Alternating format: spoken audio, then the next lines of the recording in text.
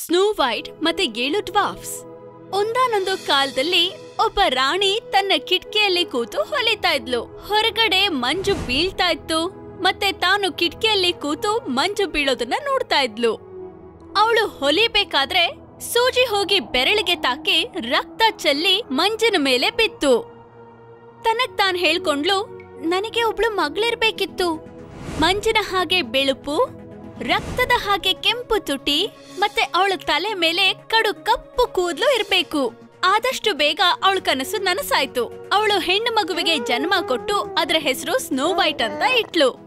ಆದ್ರೆ ಮಗು ಆಗ್ತಿದ್ದ ಹಾಗೆ ರಾಣಿ ಸತ್ ಹೋದ್ಲು. ಮತ್ತೆ ಆದಷ್ಟು ಬೇಗ ಅವಳ ಗಂಡ ಮತ್ತೊಂದು ಮದ್ವೆ ಆದ. ಹೊಸ ರಾಣಿ ತುಂಬಾ ಸುಂದರವಾಗಿದ್ಲು. ಆದ್ರೆ ಅವಳೊಬ್ಬ ದುಷ್ಟ ಹೆಣ್ಣು. ಅವಳಿಗಿಂತ ಬೇರೆಯವರು ಸುಂದರವಾಗಿದ್ದಾರೆ ಅಂದ್ರೆ ಅದನ್ನ ಅವಳು ತಡೀತಿರ್ಲಿಲ್ಲ. ಒಂದು ಮಾಯಾವಿ ಕನ್ನಡಿ ಅವಳ ರೂಮ್ ನಲ್ಲಿತ್ತು ಮತ್ತೆ ಪ್ರತಿದಿನ ಅವಳು ಅದನ್ನ ಕೇಳ್ತಾ ಇದ್ಲು ಓ ಗೋಡೆ ಮೇಲಿರುವ ಕನ್ನಡಿ? ನಮ್ಮಲ್ಲಿ ಯಾರು ತುಂಬಾ ಬೆಳ್ಳಿಗಿರೋದು? ಮತ್ತೆ ಕನ್ನಡಿ ಹೇಳ್ತಿತ್ತು? ನೀನು ಎಲ್ಲ ರಾಣಿಯರಿಗಿಂತ ಬೆಳ್ಳಗಿದೀಯ? ವರ್ಷಗಳು ಕಳೆದ್ವು ಮತ್ತೆ ಪ್ರತಿದಿನ ಸ್ನೋ ವೈಟ್ ಸುಂದರವಾಗ್ತಾನೆ ಹೋದ್ಲು. ಆದ್ರೆ ಒಂದಿನ ರಾಣಿ ತನ್ನ ಕನ್ನಡಿ ಮುಂದೆ ನಿಂತ್ಕೊಂಡು ಕೇಳಿದ್ಲು ಗೋಡೆ ಮೇಲೆ ಇರುವಂತಹ ಕನ್ನಡಿ ನಮ್ಮಲ್ಲಿ ಯಾರು ತುಂಬಾ ಬೆಳ್ಳಗಿರೋದು? ನೀನು ಬೆಳ್ಳಗಿರೋ ಮಹಾರಾಣಿ ಹೌದು. ಆದ್ರೆ ಸ್ನೋ ವೈಟ್ ಇನ್ನೂ ಬೆಳ್ಳಗಿದ್ದಾಳೆ. ಈಗ ರಾಣಿಗೆ ತುಂಬಾನೇ ಹೊಟ್ಟೆ ಕಿಚ್ಚು ಶುರುವಾಗ್ಬಿಡ್ತು. ಈಗ ಮಲಮಗಳನ್ನ ಒಂದೇ ಸಲ ಮುಗಿಸ್ಬಿಡ್ಬೇಕು ಅನ್ಕೊಂಡ್ಲು ಅವಳು ಬೇಟೆಗಾರನನ್ನ ಕರೆಸ್ಕೊಂಡು ಹುಡುಗಿನ ಕಾಡಿನೊಳಗೆ ಕರ್ಕೊಂಡು ಹೋಗಿ ಕೊಂದು ಬಿಡು ಅಂತ ಆದೇಶ ಮಾಡಿದ್ಲು. ಕೊಂದಿದ್ದೀನಿ ಅನ್ನೋದಕ್ಕೆ ಅವಳ ಹೃದಯನ ತಗೊಂಡು ಬಾ ಅಂತ ಹೇಳಿದ್ಲು. ಬೇಟೆಗಾರ ಸ್ನೋ ವೈಟ್ನ ಕರ್ಕೊಂಡು ಕಾಡಿನ ಒಳಗೆ ಹೋದ. ಆದ್ರೆ ಅವಳನ್ನ ಕೊಲ್ಲಬೇಕು ಅಂತ ಕತ್ತಿಯನ್ನ ತೆಗೆದಾಗ ಅವಳ ಸೌಂದರ್ಯ ಮತ್ತೆ ಒಳ್ಳೆತನದಿಂದ ಕರಗಿ ಹೋಗಿ ಅವಳನ್ನ ಅವನಿಂದ ಕೊಲ್ಲೋದಕ್ಕೆ ಸಾಧ್ಯ ಆಗ್ಲಿಲ್ಲ. ನನ್ ಕೈಯಲ್ಲಿ ನಿನ್ನ ಕೊಲ್ಲೋದಕ್ಕೆ ಆಗ್ತಾ ಇಲ್ಲ. ಆದ್ರೆ ಅರಮನೆಗಂತೂ ಕರ್ಕೊಂಡು ಹೋಗಕ್ ಆಗೋದಿಲ್ಲ. ಮತ್ತೆ ನನಗ್ ಭಯ ಆಗ್ತಾ ಇದೆ. ಕಾಡಲ್ಲಿರೋ ಪ್ರಾಣಿಗಳು ನಿನ್ನನ್ನ ತಿಂದ್ಬಿಡ್ಬೋದು ಅಂತ. ಅವನು ಸ್ನೋ ವೈಟ್ನ ಕಾಡಲ್ಲೇ ಬಿಟ್ಟು ಹೋಗ್ತಾ ದಾರಿಯಲ್ಲಿ ಒಂದು ಜಿಂಕೆನ ಕೊಂದು ಅದರ ಹೃದಯನ ರಾಣಿಗೆ ಕೊಟ್ಟ. ಅವಳು ಅದು ಸ್ನೋ ವೈಟ್ದು ಅನ್ಕೊಂಡ್ಲು ಪಾಪ ಸ್ನೋ ವೈಟ್ ಈಗ ಕಾಡ್ನಲ್ಲಿ ಹೆದರ್ಕೊಂಡು ಆ ಕಡೆ ಈ ಕಡೆ ಓಡಾಡ್ತಾ ಇದ್ಲು. ಪ್ರಾಣಿಗಳು ಅವಳನ್ನ ನೋಡಿದ್ವು. ಅವಳು ಮರದ ಹತ್ರ ಹೆದರ್ಕೊಂಡು ನಿಂತಿದ್ಲು. ಆದ್ರೆ ಅವು ಅವಳನ್ನ ಮುಟ್ಲಿಲ್ಲ. ರಾತ್ರಿ ಆದಾಗ ಕಾಡಿನ ಒಂದು ಭಾಗಕ್ಕೆ ಬಂದ್ಲು. ಅಲ್ಲಿ ಅವಳಿಗೆ ಒಂದು ಮನೆ ಕಾಣಿಸ್ತು. ಅವಳು ತಟ್ಟದ್ಲು, ಆದ್ರೆ ಯಾರು ಉತ್ತರಿಸ್ಲಿಲ್ಲ. ಬಾಗ್ಲನ್ನ ತಟ್ಟದ್ಲು, ಆಮೇಲೆ ತೆಗೆದು ಒಳಗಡೆ ಹೋದ್ಲು. ಅವಳು ಒಳಗಡೆ ನೋಡಿದ್ರೆ ಆ ರೂಮ್ನಲ್ಲಿ ಮರದ ಟೇಬಲ್, ಬೆಂಚಸ್ ಎಲ್ಲ ಇತ್ತು, ಉದ್ದವಾಗಿತ್ತು. ಟೇಬಲ್ ಮೇಲೆ ಏಳು ಬೌಲ್ಗಳು, ಏಳು ಕಪ್ಗಳು, ಮತ್ತೆ ಏಳು ಸ್ಪೂನ್ಗಳಿದ್ವು. ಇದು ಏಳು ಡ್ವಾರ್ಫ್ಗಳ ಮನೆ ಆಗಿತ್ತು. ಅವರು ಕಾರ್ಡ್ನಲ್ಲಿ ಚಿನ್ನ ಆಗ್ಯೋ ಕೆಲಸ ಮಾಡ್ತಿದ್ರು. ಸ್ನೋ ವೈಟ್ಗೆ ಎಷ್ಟು ಹಸುವಾಗಿತ್ತಂದ್ರೆ ಅವಳು ಕೂತು ಎಲ್ಲಾ ಬೌಲ್ನಲ್ಲೂ ಸ್ವಲ್ಪ ಸ್ವಲ್ಪ ಸಿಹಿಯನ್ನ ತಿಂದ್ಲು. ಮತ್ತೆ ಪ್ರತಿ ಕಪ್ನಲ್ಲಿ ಸ್ವಲ್ಪ ಸ್ವಲ್ಪ ಹಾಲು ಕುಡಿದ್ಲು. ಆಮೇಲೆ ಅವಳು ಮೇಲ್ಗಡೆ ಹೋದ್ಲು. ಅಲ್ಲೊಂದು ರೂಮ್ ಇತ್ತು. ಅದ್ರಲ್ಲಿ ಚಿಕ್ಕ ಚಿಕ್ಕ ಏಳು ಬೆಡ್ಗಳು ಇದ್ವು. ಅದ್ರಲ್ಲಿ ಒಂದರ ಮೇಲೆ ಅವಳು ಮಲ್ಕೊಂಡ್ಲು. ತಕ್ಷಣ ನಿದ್ರೆಗ್ ಜಾರದ್ಲು. ಆಕಾಶದ ಮೇಲೆ ಚಂದ್ರ ಬರ್ತಿದ್ದ ಹಾಗೆ ಏಳು ಡ್ವಾಫ್ಗಳು ವಾಪಸ್ ಬಂದ್ರು. ಪ್ರತಿಯೊಬ್ರು ತಮ್ಮ ತಮ್ಮ ಕೊಡಲಿಯನ್ನ ಹೆಗಲ್ ಮೇಲೆ ಹೊತ್ಕೊಂಡಿದ್ರು. ತಮ್ಮ ತಮ್ಮ ಚಿನ್ನದ ಚೀಲವನ್ನ ತಮ್ಮ ಸೊಂಟಕ್ಕೆ ಕಟ್ಕೊಂಡಿದ್ರು. ಲ್ಯಾಂಟರ್ನ್ ಗಳನ್ನ ಟೇಬಲ್ ಮೇಲೆ ಇಟ್ಟ ತಕ್ಷಣ ಅವ್ರಿಗೆ ಮನೆಗೆ ಯಾರೋ ಬಂದಿದ್ದು ಗೊತ್ತಾಯ್ತು. ನಮ್ಮ ಆಹಾರನೆಲ್ಲ ತಿಂದಿದ್ಯಾರು? ಹೌದು ನಮ್ಮ ಆಹಾರ ತಿಂದಿದ್ಯಾರು? ಅಂತ ಮಾತಾಡ್ಕೊಂಡ್ರು. ತಕ್ಷಣ ಅವರು ಮೇಲ್ಗಡೆ ಹೋಗಿ ಬೆಡ್ ಮೇಲೆ ಸ್ನೋ ವೈಟ್ ಮಲ್ಗಿರೋದನ್ನ ನೋಡಿದ್ರು. ಓ, ಮತ್ತೆ? ಈ ಹುಡುಗಿ ಯಾರು ಇಷ್ಟು ಸುಂದರವಾಗಿದ್ದಾಳೆ? ಮತ್ತೆ ಯಾರು ಇಷ್ಟು ಚೆನ್ನಾಗಿರೋಳು? ಒಬ್ರನ್ನೊಬ್ರು ಖುಷಿಯಿಂದ ಕೇಳ್ಕೊಂಡ್ರು. ಆಗ ಸ್ನೋ ವೈಟ್ ಎದ್ದು ತನ್ನ ಕಥೆಯನ್ನ ಹೇಳ್ಕೊಂಡ್ಲು ಇದನ್ನ ಕೇಳಿ ಡ್ವಾಫ್ಗಳಿಗೆ ಬೇಜಾರಾಯ್ತು. ಅವಳನ್ನ ಅದೇ ಮನೆಯಲ್ಲಿದ್ದು ಮನೆಯನ್ನ ನೋಡ್ಕೊಳ್ಳೋದಕ್ಕೆ ಹೇಳಿದ್ರು. ಅವರು ಕೆಲ್ಸಕ್ಕೆ ಅಂತ ಹೊರಗ್ ಹೋದಾಗ ಮನೆಗೆ ಯಾರೇ ಬಂದ್ರು ಬಾಗ್ಲು ತೆಗಿಬಾರ್ದು ಅಂತ ಹೇಳಿದ್ರು. ಅವ್ರಿಗೆ ಭಯ ಇತ್ತು. ದುಷ್ಟ ರಾಣಿ ಅವಳು ಬದುಕಿರೋದನ್ನ ತಿಳ್ಕೊಂಡು ಕೊಂದ್ ಬಿಟ್ರೆ ಅಂತ. ಹೀಗೆ ಸ್ನೋ ವೈಟ್ ವಾಫ್ಗಳ ಜೊತೆಲಿದ್ಲು. ಹಾಸಿಗೆ ಸರಿ ಮಾಡೋದು ಅಡಿಕೆ ಮಾಡೋದು, ಮನೆನ ಸ್ವಚ್ಛಗೊಳಿಸೋದು ಮಾಡ್ತಿದ್ಲು. ಅವಳು ಡ್ವಾಫ್ಗಳ ಜೊತೆ ಸಂತೋಷವಾಗಿದ್ಲು. ತನ್ನ ಮಲತಾಯಿ ಬಗ್ಗೆ ಎಲ್ಲ ಮರ್ತು ಹೋಗ್ಬಿಟ್ಟಿದ್ಲು. ಆದ್ರೆ ಒಂದಿನ ರಾಣಿ ಮತ್ತೆ ತನ್ನ ಕನ್ನಡಿ ಮುಂದೆ ನಿಂತು ಕೇಳ್ಕೊಂಡ್ಲು ಗೋಡೆ ಮೇಲೆ ಇರುವಂತ ಕನ್ನಡಿ. ಯಾರು ಎಲ್ಲರಿಗಿಂತ ಬೆಳ್ಳಗಿರೋದು? ನೀನು ಬೆಳ್ಳಗಿದೀಯ ಮಹಾರಾಣಿ. ಆದರೆ ನಿನಗಿಂತ ಸ್ನೋ ವೈಟ್ ತುಂಬಾ ಬೆಳ್ಳಗಿದ್ದಾಳೆ. ಕಾಡಿನ ಮಧ್ಯದಲ್ಲಿ ಡ್ವಾಫ್ಸ್ನ ಜೊತೆ ಮನೆಯನ್ನ ಮಾಡ್ಕೊಂಡಿದ್ದಾಳೆ. ಈ ಮಾತುಗಳನ್ನ ಕೇಳಿ ರಾಣಿಯ ಮುಖ ಕೆಂಪಗಾಗ್ಬಿಡ್ತು. ಬೇಟೆಗಾರ ತನಗೆ ಮೋಸ ಮಾಡಿದ್ದಾನೆ ಅಂತ ತಿಳ್ಕೊಂಡು ಈ ಸಲ ಸ್ನೋ ವೈಟ್ನ ತಾನೇ ಕೊಲ್ಲಬೇಕು ಅಂತ ನಿರ್ಧಾರ ಮಾಡಿದ್ಲು. ಅವಳು ತನ್ನ ವೇಷವನ್ನ ಬದಲಾಯಿಸ್ಕೊಂಡು ಕಾಡಿನಲ್ಲಿ ಏನೋ ಮಾರೋ ರೀತಿ ಹೋದ್ಲು. ಸ್ನೋ ವೈಟ್ ಕಿಟಕಿಯಲ್ಲಿ ಕೂತ್ಕೊಂಡು ಡ್ವಾಫ್ನ ಒಂದು ಬಟ್ಟೆಯನ್ನ ಹೊಲಿತಾ ಇದ್ಲು. ರಾಣಿ ಹೊರಗಡೆಯಿಂದ ಹಳ್ಳಿ ಹೆಣ್ಣಿನ ದನಿಯಲ್ಲಿ ಅವಳನ್ನ ಕರೆದ್ಲು. ನಂತವ ತವ ಬಟನ್ನು ರಿಬನ್ನು ಲೇಸ್ ಐತೆ ತಗೊಳ್ಳಿ, ಇದನ್ನ ಕೊಂಡ್ಕೊಳ್ಳಿ. ಏನಾದ್ರೂ ಒಂದು ಕೊಂಡ್ಕೋಬೇಕು ಅನ್ನೋ ಆಸೆನಲ್ಲಿ ಸ್ನೋ ವೈಟ್ ವಾಫ್ಗಳು ಹೇಳಿದನ್ನ ಮರ್ತ್ ಹೋದ್ಲು. ಬಾಗ್ಲು ತೆಗಿಯೋಕೆ ಓಡ್ ಹೋದ್ಲು. ನಿಮ್ ಬಟ್ಟೆ ಮೇಲಿರೋ ಲೇಸು ಬಿಚ್ಕೊಂಡ್ಬಿಟ್ಟೈತೆ ಅಂತಂದ್ಲು ಮಾರುವೇಷದ ರಾಣಿ. ನಾನದನ್ನ ಕಟ್ಕೊಡ್ತೀನಿ. ಹೀಗೆ ಅವಳು ಅದನ್ನ ಎಷ್ಟು ಗಟ್ಟಿಯಾಗಿ ಕಟ್ಟಿದ್ಲು ಅಂದ್ರೆ ಸ್ನೋ ವೈಟ್ಗೆ ಉಸಿರಾಡೋದಕ್ಕೂ ಕಷ್ಟ ಆಗ್ಬಿಡ್ತು. ಅವಳು ಸತ್ತೆ ಬಿಟ್ಲೇನೋ ಅನ್ನೋ ರೀತಿ ಕೆಳಗಡೆ ಬಿದ್ಲು. ನಗತಾ ದುಷ್ಟ ರಾಣಿ ಮತ್ತೆ ಅರಮನೆಗೆ ಮರಳಿದ್ಲು. ಸ್ನೋ ವೈಟ್ ಈಗ ಶಾಶ್ವತವಾಗಿ ಹೋಗ್ಬಿಟ್ಲು ಅನ್ಕೊಂಡ್ಲು ಡ್ವಾಫ್ಗಳು ಆ ರಾತ್ರಿ ಮನೆಗೆ ಮರಳಿದಾಗ ಸ್ನೋ ವೈಟ್ ಬಾಗ್ಲಲ್ಲಿ ಬಿದ್ದಿರೋದು ಕಂಡು ಬಂತು ಅವಳನ್ನ ಎತ್ತುತ್ತಿದ್ದ ಹಾಗೆ ಏನಾಗಿದೆ ಅನ್ನೋದು ಅವ್ರಿಗೆ ಗೊತ್ತಾಯ್ತು. ಅವರು ಅವಳ ಬಟ್ಟೆ ಮೇಲೆ ಇದ್ದಂತ ಲೇಸನ್ನ ಚಾಕು ತಗೊಂಡು ಕತ್ತರಿಸಿದ್ರು. ತಕ್ಷಣ ಸ್ನೋ ವೈಟ್ ಲಂಗ್ಸ್ ಒಳಗೆ ಗಾಳಿ ಹೋಯ್ತು. ತಕ್ಷಣ ಅವಳು ಉಸಿರಾಡೋಕೆ ಶುರು ಮಾಡಿದ್ಲು. ಆಮೇಲೆ ಅವ್ರಿಗೆ ಏನಾಯ್ತು ಅಂತ ಹೇಳಿದ್ಲು. ಡ್ವಾಫ್ ಗಳಿಗೀಗ ಗೊತ್ತಾಯ್ತು ಆ ಹೆಣ್ಣು ಮಾರು ವೇಷದಲ್ಲಿ ಬಂದಂತಹ ರಾಣಿ ಅಂತ ಅವಳು ಇನ್ನೂ ಸಾಯಿಸೋಕೆ ಕಾಯ್ತಾ ಇದ್ಲು ಅಂತ. ಯಾರ್ ಬಂದ್ರು ಬಾಗ್ಲನ್ನ ತೆಗಿಬೇಡಿ ನೀವು. ಅಂತ ಕೇಳ್ಕೊಂಡ್ರು ಮತ್ತೆ ಸ್ನೋ ವೈಟ್ ಹಾಗೆಲ್ಲ ಮಾಡಲ್ಲ ಅಂತ ಹೇಳಿದ್ಲು. ಆ ರಾತ್ರಿ ರಾಣಿ ಮತ್ತೆ ಕನ್ನಡಿ ಮುಂದೆ ಹೋಗ್ ನಿಂತ್ಲು. ಗೋಡೆ ಮೇಲಿರುವಂತಹ ಕನ್ನಡಿ ಹೇಳು ನಮ್ಮಲ್ಲಿ ಯಾರು ತುಂಬಾ ಬಿಳಿ? ನೀನು ತುಂಬಾ ಬೆಳ್ಳಗಿದೀಯ ಮಹಾರಾಣಿ. ಆದ್ರೆ ಸ್ನೋ ವೈಟ್ ನಿನಗಿಂತ ಬೆಳ್ಳಗಿದ್ದಾರೆ ಇದನ್ನ ಕೇಳಿ ರಾಣಿಗೆ ಇನ್ನೂ ಕೋಪ ಬಂತು. ಅರಮನೆಯಲ್ಲಿದ್ದಂತ ಸೆಲ್ಲರ್ಗೆ ಹೋಗಿ ಸೀಕ್ರೆಟ್ ವಸ್ತುಗಳನ್ನ ತಗೊಂಡ್ಲು. ಅಲ್ಲಿ ವಿಷದ ಸೇಬೊಂದನ್ನ ತಯಾರಿಸಿದ್ಲು. ಒಂದು ಕಡೆ ಕೆಂಪಗಿತ್ತು, ಮತ್ತೊಂದು ಕಡೆ ಹಸಿರು. ಹಸಿರು ಭಾಗವನ್ನ ಆರಾಮಾಗಿ ತಿನ್ಬೋದಿತ್ತು. ಆದ್ರೆ ಕೆಂಪು ಭಾಗವನ್ನ ತಿಂದ ಕೂಡ್ಲೆ ಸಾಯಿಸ್ಬಿಡ್ತಾ ಇತ್ತು. ಮತ್ತೊಮ್ಮೆ ರಾಣಿ ಮಾರು ವೇಷ ಧರಿಸಿದ್ಲು. ಈ ಸಲ ಅವಳು ಹಳ್ಳಿ ಹೆಣ್ಣಿನ ತರ ಕಾಣ್ತಿದ್ಲು. ಕೈಯಲ್ಲಿದ್ದ ಬುಟ್ಟಿನಲ್ಲಿ ಸೇಬನ್ನ ತುಂಬಿಕೊಂಡಿದ್ಲು. ಅದರ ಮೇಲೆ ಸುಂದರವಾಗಿ ಬದಲಾಯಿಸಿದಂಥ ವಿಷದ ಸೇಬನ್ನ ಇಟ್ಕೊಂಡ್ಲು ಅವಳು ಡ್ವಾಫ್ಗಳ ಮನೆಗೆ ಬಂದ್ಲು. ಸ್ನೋ ವೈಟ್ ಆಗ ಬಾವಿಯಿಂದ ನೀರನ್ನ ತೆಗಿತಾ ಇದ್ಲು. ಹುಡುಗಿ ಅವಳು ಬರೋದನ್ನ ಕಂಡ ತಕ್ಷಣ ಹೆದರ್ಕೊಂಡು ಮನೆ ಒಳಗಡೆ ಓಡ್ ಹೋಗ್ಬಿಟ್ಲು ಮತ್ತೆ ಬಾಗ್ಲನ್ನ ಹಾಕೊಂಡ್ಲು ಈಗ ಅವಳಿಗೆ ಹಳ್ಳಿ ಹೆಣ್ಣಿನ ದನಿ ಕೇಳ್ಬಂತು ಸೇಬು ಸೇಬು ಬೇಕಮ್ಮ, ಸೇಬು. ಇವಳಿಗೆ ತಿನ್ಬೇಕು ಅಂತ ಅನ್ನಿಸ್ತು. ಕಿಟಕಿಯನ್ನ ತೆಗೆದು ಬಾಕಲ್ನ ಹಾಕಿದ್ರೆ ಯಾವುದೇ ಅಪಾಯ ಇರೋದಿಲ್ಲ. ಕಿಟಕಿಯನ್ನ ತೆಗೆದು ಹೊರಗಡೆ ಬಾಗದ್ಲು. ನಾನು ಸೇಬನ್ನ ನೋಡ್ಬೋದಾ ಅಂತ ಕೇಳಿದ್ಲು. ಇದನ್ನ ತಿನ್ನೋಡು ಕಂದ, ಇದು ತುಂಬಾನೇ ಚೆನ್ನಾಗಿದೆ ಅಂತ ಹೇಳಿದ್ಲು ರಾಣಿ. ಆ ವಿಷದ ಸೇಬನ್ನ ಇಟ್ಕೊಂಡು. ಹುಡುಗಿ ಸ್ವಲ್ಪ ಹಿಂಜರಿದಾಗ ಅವಳು ಹೇಳಿದ್ಲು, ತಿನ್ನೋದಕ್ಕೆ ಹೆದರ್ಕೊಳ್ಬೇಡ. ನೋಡು, ಎರಡು ಭಾಗ ಮಾಡ್ತೀನಿ. ಒಂದು ನಿನಗೆ, ಒಂದು ನನಗೆ. ಅವಳು ಹಸಿರು ಭಾಗವನ್ನ ತಿನ್ನೋದಕ್ಕೆ ಶುರು ಮಾಡಿದ್ಲು, ಮತ್ತೆ ಕೆಂಪು ಭಾಗವನ್ನ ಸ್ನೋ ವೈಟ್ಗೆ ಕೊಟ್ಲು. ಅವಳದನ್ನ ತಿನ್ನದೇ ಇರೋದಕ್ಕಾಗ್ಲಿಲ್ಲ. ಅವಳು ಸೇಬನ್ನ ಬಾಯಿಗೆ ಹಾಕ್ತಿದ್ದ ಹಾಗೇನೆ ಅವಳು ಸತ್ತು ನೆಲದ ಮೇಲೆ ಬಿದ್ದ್ಬಿಟ್ಲು ಆ ರಾತ್ರಿ ರಾಣಿ ಕನ್ನಡಿಯನ್ನ ಚೆನ್ನಾಗಿ ಒರೆಸಿ ಕೇಳಿದ್ಲು.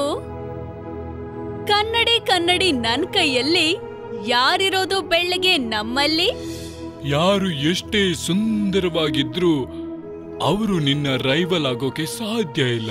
ಡ್ವಾಫ್ಗಳು ಮನೆಗೆ ಬಂದು ಸ್ನೋ ವೈಟ್ ಸತ್ತಿರೋದನ್ನ ನೋಡಿದಾಗ ಅವ್ರಿಗೆ ತಡೆಯೋದಕ್ಕಾಗ್ಲಿಲ್ಲ. ಅವಳನ್ನ ಗಾಜಿನ ಕಫಿನ್ನಲ್ಲಿ ಹಾಕಿ ಸುತ್ತಲೂ ಹೂಗಳನ್ನ ಜೋಡಿಸಿ ದಿನ ಹೋಗ್ತಾ ಬರ್ತಾ ಅವಳನ್ನ ನೋಡೋ ಹಾಗೆ ಮಾಡ್ಕೊಂಡ್ರು.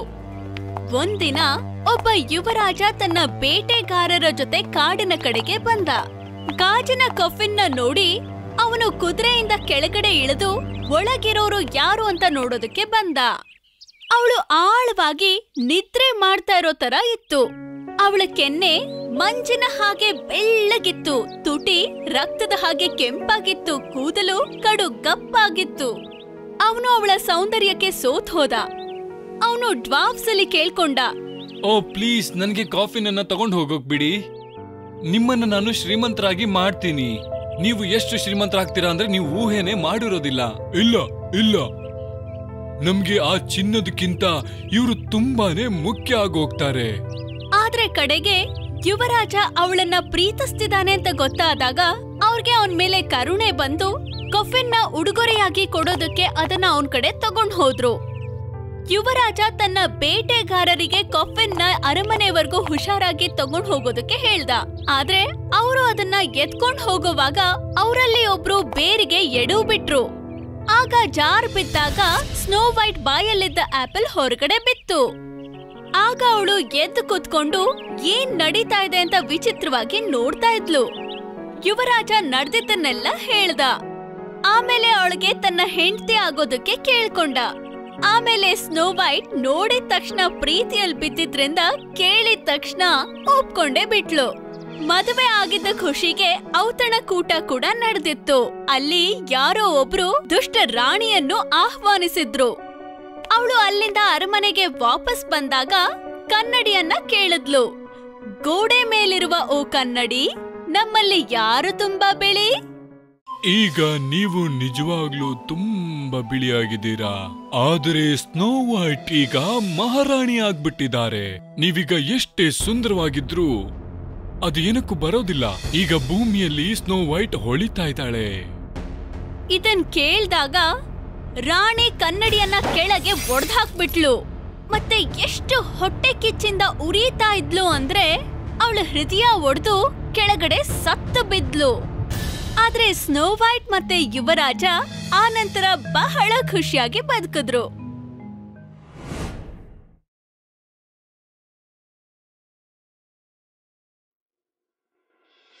ಜಾಕ್ ಮತ್ತೆ ಬೀನ್ ಸ್ಟಾಕ್ ಒಂದಾನೊಂದು ಕಾಲದಲ್ಲಿ ಒಬ್ಬ ಬಡ ಹೆಂಗಸು ಇದ್ಲು. ಅವಳು ಒಂದು ಪುಟ್ಟ ಗುಡಿಸ್ಲಲ್ಲಿ ಇದ್ಲು. ಅಲ್ಲಿ ಅವಳು ತನ್ನ ಒಬ್ಬನೇ ಮಗನ್ ಜೊತೆ ಇರ್ತಾ ಇದ್ಲು. ಅವನ್ ಹೆಸರು ಜಾಕ್. ಅವ್ರ ಬಳಿ ಒಂದು ಹಸು ಇತ್ತು. ಅದು ಯಾರ ಹಸು ಕೊಡದಷ್ಟು ಹಾಲನ್ನ ಕೊಡ್ತಾ ಇತ್ತು. ಅವರು ಉಳಿದ ಹಾಲ್ನಿಂದ ತುಪ್ಪ, ಬೆಣ್ಣೆ ತೆಗೆದು ಹತ್ತಿರದ ಮಾರುಕಟ್ಟೆಯಲ್ಲಿ ಮಾರ್ತಿದ್ರು. ಆದ್ರೆ ಒಂದಿನ ಹಾಲು ಬರ್ಲೇ ಇಲ್ಲ. ಬೆಣ್ಣೆ ಮತ್ತೆ ತುಪ್ಪ ಮಾಡ್ಲು ಹಾಲಿರ್ಲಿಲ್ಲ. ಅವ್ರಿಗೂ ಸಹ ಕುಡಿಯೋಕೆ ಹಾಲಿರ್ಲಿಲ್ಲ. ದಿನ ಕಡಿಮೆ ತಿಂತಾ ಇದ್ರು. ಸ್ವಲ್ಪ ದಿನದ ನಂತರ ಅವ್ರಿಗೆ ತಿನ್ನೋಕೆ ಏನೂ ಇರ್ಲಿಲ್ಲ. ಮತ್ತು ಅವ್ರ ಬಳಿ ಆಹಾರ ಕೊಂಡ್ಕೊಳ್ಳೋಕೆ ಹಣ ಸಹ ಇರ್ಲಿಲ್ಲ. ದುಡಿಯೋಕೆ ಜಾಕ್ ಚಿಕ್ಕೋನಾಗಿದ್ದ. ಅವನ ತಾಯಿಗೆ ಹುಷಾರ್ ತಪ್ಪಿತ್ತು. ಅವಳು ಜಾಕ್ನ ಬೆಡ್ ಬಳಿ ಕರೆದ್ಲು. ನನಗೆ ಹುಷಾರಿಲ್ಲ. ನಾನು ಹೊರಗ್ ಹೋಗೋಕ್ ಆಗಲ್ಲ, ಜಾಕ್. ಅದಕ್ಕೆ ನೀನೇ ಹಸುನ ಕರ್ಕೊಂಡು ಮಾರುಕಟ್ಟೆಗೆ ಹೋಗ್ಬೇಕು. ಮತ್ತೆ ಅದನ್ನ ಎಷ್ಟು ಜಾಸ್ತಿ ಆಗುತ್ತೋ ಅಷ್ಟು ಜಾಸ್ತಿ ಹಣಕ್ಕೆ ಅದನ್ನ ಮಾರ್ಬೇಕು. ಸರಿ ಅಮ್ಮ. ಜಾಕ್ಗೆ ಮಾರುಕಟ್ಟೆಗೆ ಹೋಗೋಕ್ ಇಷ್ಟ ಇತ್ತು ಆದ್ರೆ ಅವನಿಗೆ ಹಸುನ ಮಾರೋಕೆ ಬೇಸರ ಇತ್ತು. ಅವನು ನಿಧಾನವಾಗಿ ನಡೆದು ಹೋಗ್ತಾ ಇದ್ದ. ಅರ್ಧ ದಾರಿ ತಲುಪಿದಾಗ ಒಬ್ಬ ಮುದುಕ ಅವನನ್ನ ತಡೆದ. ನೀನು ಹಸುನ ಮಾರ್ಬೇಕಾ? ಹಾಗಾದ್ರೆ ನಾನು ಇದ್ರ ಬದಲಿಗೆ ಅವಳನ್ನ ಕೊಂಡ್ಕೊಂತೀನಿ. ಅದು ಬೀನ್ಸ್. ಬೇರೆ ಬೇರೆ ಬಣ್ಣದಿಂದ ಕೂಡಿತ್ತು. ಬಹಳ ಸುಂದರವಾಗಿತ್ತು. ಮತ್ತೆ ಮುದುಕ ಹೇಳ್ದ ಅದು ಮ್ಯಾಜಿಕ್ ಅಂತ. ಅದಕ್ಕೆ ಜಾಕ್ ಅವನಿಗೆ ಹಸು ಕೊಟ್ಟು ಬೀನ್ಸ್ ತಗೊಂಡು ಓಡ್ ಹೋದ. ಅಮ್ಮ ನೋಡು ನನ್ಗೇನ್ ಸಿಕ್ಕಿದೆ ಅಂತ. ಅಂತ ಅಮ್ಮನ ರೂಮ್ಗೆ ಓಡ್ ಹೋಗಿ ಹೇಳ್ದ. ಆದ್ರೆ ಅಮ್ಮನಿಗೆ ಕೋಪ ಬಂತು. ಹಸುನ ಸ್ವಲ್ಪನೂ ಹಣ ಪಡಿದೇನೆ ಮಾರ್ಬಿಟ್ ಬಂದ ಅಂತ. ಏನೋ ನೀನು ನಮ್ ಒಳ್ಳೆ ಹಸುನ ಕೆಲ್ಸಕ್ ಬರ್ತಿರೋ ಬೀನ್ಸ್ಗೆ ಮಾರ್ ಬಂದ. ಅಂತ ಹೇಳಿ ಅದನ್ನ ಮನೆಯಿಂದ ಹೊರಗೆ ಬಿಸಾಕ್ಬಿಟ್ಲು. ಆ ಸಂಜೆ ಜಾಕ್ ಮತ್ತೆ ಅವನ ತಾಯಿ ಕಡೆಯ ಬ್ರೆಡ್ ಅನ್ನು ತಿಂದ್ರು. ಮತ್ತೆ ಬೇಸರದಲ್ಲಿ ನಿದ್ರಿಸೋಕೆ ಹೋದ್ರು. ಅವ್ರಿಗೆ ಗೊತ್ತಿತ್ತು, ಬೆಳಗ್ಗೆ ತಿಂಡಿಗೆ ಏನೂ ಉಳಿದಿಲ್ಲ ಅಂತ. ಜಾಕ್ ಮರುದಿನ ಬೇಗನೆ ಎದ್ದ. ಹಸಿವಿತ್ತು. ಎಷ್ಟು ಹಸಿವಿತ್ತು ಅಂದ್ರೆ ಅವನು ಬೆಡ್ನಿಂದ ಇಳಿದು ನೇರವಾಗಿ ತೋಟಕ್ ಹೋದ. ತಿನ್ನೋಕೆ ಏನಾದ್ರೂ ಸಿಗತ್ತಾ ಅಂತ ಅವನ ಆಶ್ಚರ್ಯಕ್ಕೆ ಆ ಮ್ಯಾಜಿಕ್ ಬೀನ್ಸ್ ಬೆಳೆದು ನಿಂತಿತ್ತು. ಅದು ಬೆಳೆದು ಮೇಲೆ ಹೋಗಿತ್ತು. ಆಕಾಶದವರೆಗೂ ಹೋಗಿ ಅಲ್ಲಿ ಮಾಯ ಆಗಿತ್ತು. ಅದರ ಬಳ್ಳಿ ಎಷ್ಟು ಗಟ್ಟಿ ಮತ್ತೆ ದಪ್ಪ ಇತ್ತು ಅಂದ್ರೆ ಅವನು ಅದನ್ನ ಹತ್ತಿ ಮೇಲ್ ಹೋಗ್ತಿದ್ದ. ಅದು ಗೇಣಿ ಅನ್ನೋ ರೀತಿಯಲ್ಲಿ. ಅವನು ಇನ್ನಷ್ಟು ಮೇಲೆ ಹೋಗ್ತಾ ಇದ್ದ. ಇನ್ನೂ ಮೇಲೆ. ಇನ್ನೂ ಮೇಲೆ ಕಡೆಗೂ ಅವನು ಆ ಬಳ್ಳಿಯ ತುದಿಗೆ ತಲುಪ್ದ. ಅವನ ಮುಂದೆ ಒಂದು ದಾರಿ ಇತ್ತು. ಅದು ದೂರದಲ್ಲಿ ಇದ್ದ ಒಂದು ಸುಂದರವಾದ ಅರಮನೆಗೆ ದಾರಿಯಾಗಿತ್ತು. ಅಲ್ಲಿ ಯಾರು ಕಾಣ್ತಿರ್ಲಿಲ್ಲ. ಅವನು ಆ ದಾರಿ ಹಿಡಿದು ನಡೆದ. ಅರಮನೆಯಲ್ಲಿ ಯಾರಾದ್ರೂ ತಿನ್ನೋಕೆ ಏನಾದ್ರೂ ಕೊಡಬಹುದು. ಏನೇ ಇರ್ಲಿ, ಇದು ಅಡ್ವೆಂಚರ್ ಆಗಿರತ್ತೆ. ಅವನಿಗೆ ಎಂದಿಗಿಂತ ಜಾಸ್ತಿ ಹಸಿವು, ಎಂದಿಗಿಂತ ಜಾಸ್ತಿ ಸುಸ್ತು ಆಗಿತ್ತು. ಈಗ ಅರಮನೆಗೆ ಬಂದು ತಲುಪ್ದ. ಅದರ ಹೆಬ್ಬಾಗಿಲು ಮುಚ್ಚಿತ್ತು. ಆದ್ರೆ ಜಾಕ್ ಅದನ್ನು ಜೋರಾಗಿ ಪಡೆದ ಸ್ವಲ್ಪ ಹೊತ್ತಿನ ನಂತರ ಅದನ್ನ ದೊಡ್ಡ ಕೊಳುಕು ಮುದುಕಿ ತೆಗೆದ್ಲು. ಅವಳಿಗೆ ಒಂದೇ ಕಣ್ಣಿತ್ತು, ಅವಳ ಹಣೆಯ ಮಧ್ಯದಲ್ಲಿ. ಆ ಎಂದು ಚೀರಿದಳು. ನನಗೆ ನಿನ್ನಂತ ಹುಡುಗನೇ ಬೇಕಾಗಿರೋದು ನನ್ನ ಮನೇನ ಸ್ವಚ್ಛಗೊಳಿಸೋದಕ್ಕೆ. ಬಾ, ಬೇಗ ಒಳಗಡೆ ಬಾ. ಇಲ್ಲ, ನನ್ ಗಂಡ ಬಂದ್ರೆ ನಿನ್ನ ತಿಂದ್ ಹಾಕ್ಬಿಡ್ತಾನೆ ನಡಿ ಒಳಗೆ. ಹೆದರ್ಕೊಂಡು ಜಾಕ್ ಪಟ್ ಅಂತ ಒಳಗಡೆ ಹೋದ. ಮತ್ತೆ ಅವಳಿಗೆ ಹೇಳ್ದ, ನನಗೆ ತಿನ್ನೋದಕ್ಕೆ ಏನಾದ್ರೂ ಕೊಟ್ರೆ ನಾನು ಸೇವಕನಾಗ್ತೀನಿ ಅಂತ. ಅವಳು ಅವನಿಗೆ ತಿನ್ನೋದಕ್ಕೆ ಬ್ರೆಡ್ ಮತ್ತೆ ಕುಡಿಯೋಕೆ ಮಜ್ಜಿಗೆ ಕೊಟ್ಲು. ಅವನು ಅದನ್ನ ಕುಡಿಯೋವಾಗ ಅರಮನೆಯಲ್ಲಿ ಗೋಡೆಗಳು ಅಲುಗಾಡೋದಕ್ಕೆ ಶುರು ಆದ್ವು ಅವನು ಹೆದರ್ಕೊಂಡ, ಮತ್ತೆ ದೈತ್ಯ ಒಂದು ಹತ್ರ ಬರ್ತಾ ಇರೋದು ಕೇಳಿಸ್ತು. ಬೇಗ ಬೇಗ ಹೋಗಿ ಬಚ್ಚಿಡ್ಕೋ! ಎಂದು ಆಕೆ ಹೇಳಿದಳು. ಆಗ ಜಾಕ್ ಬಟ್ ಅಂತ ಬಚ್ಚಿಟ್ಕೊಂಡ ಮತ್ತೆ ದೈತ್ಯ ಕಿರುಚುತ್ತ ಒಳಗ್ ಬಂದ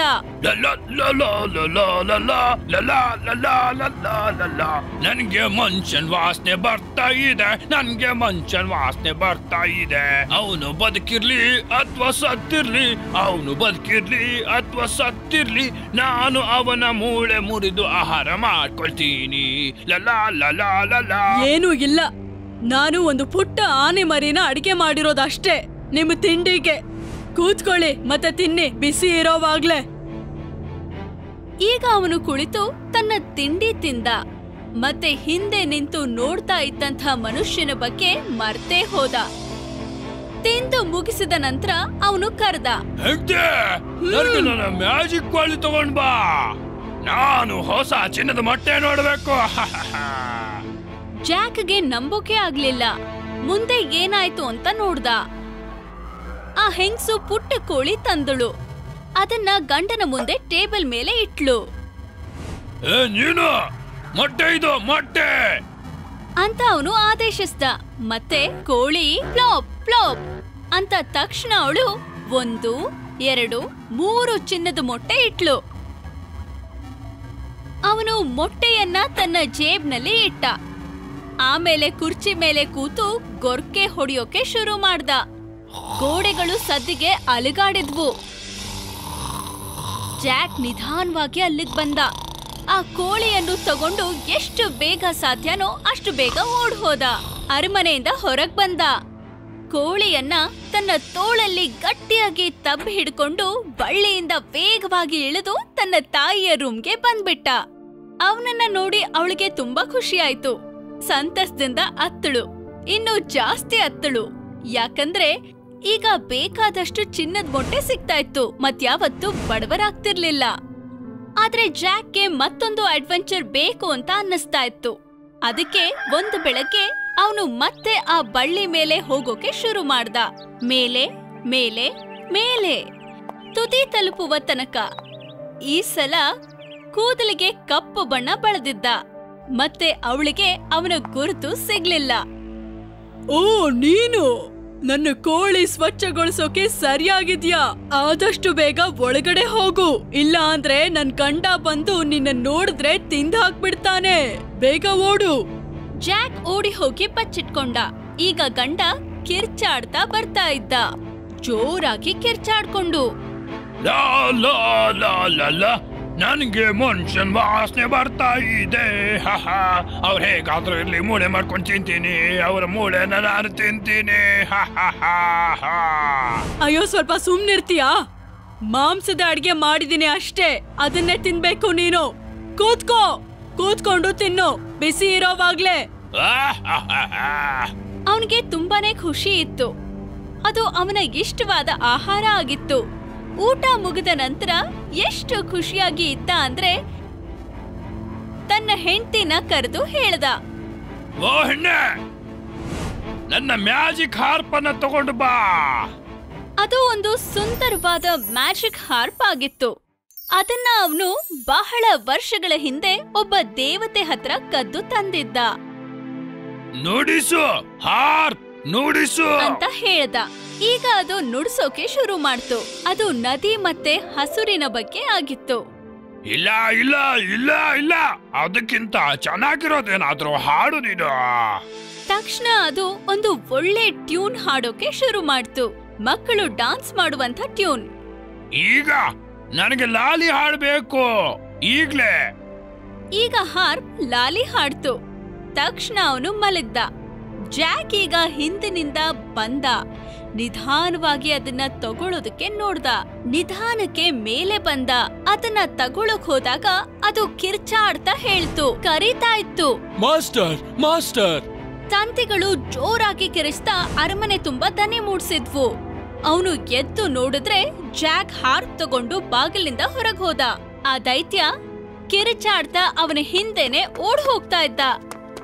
ಅವನು ಬಳ್ಳಿ ತನಕ ಬರ್ತಾ ಇದ್ದ. ಭೂಮಿ ಭಾರಕ್ಕೆ ಅಲುಗಾಡೋದಕ್ಕೆ ಶುರುವಾಯ್ತು.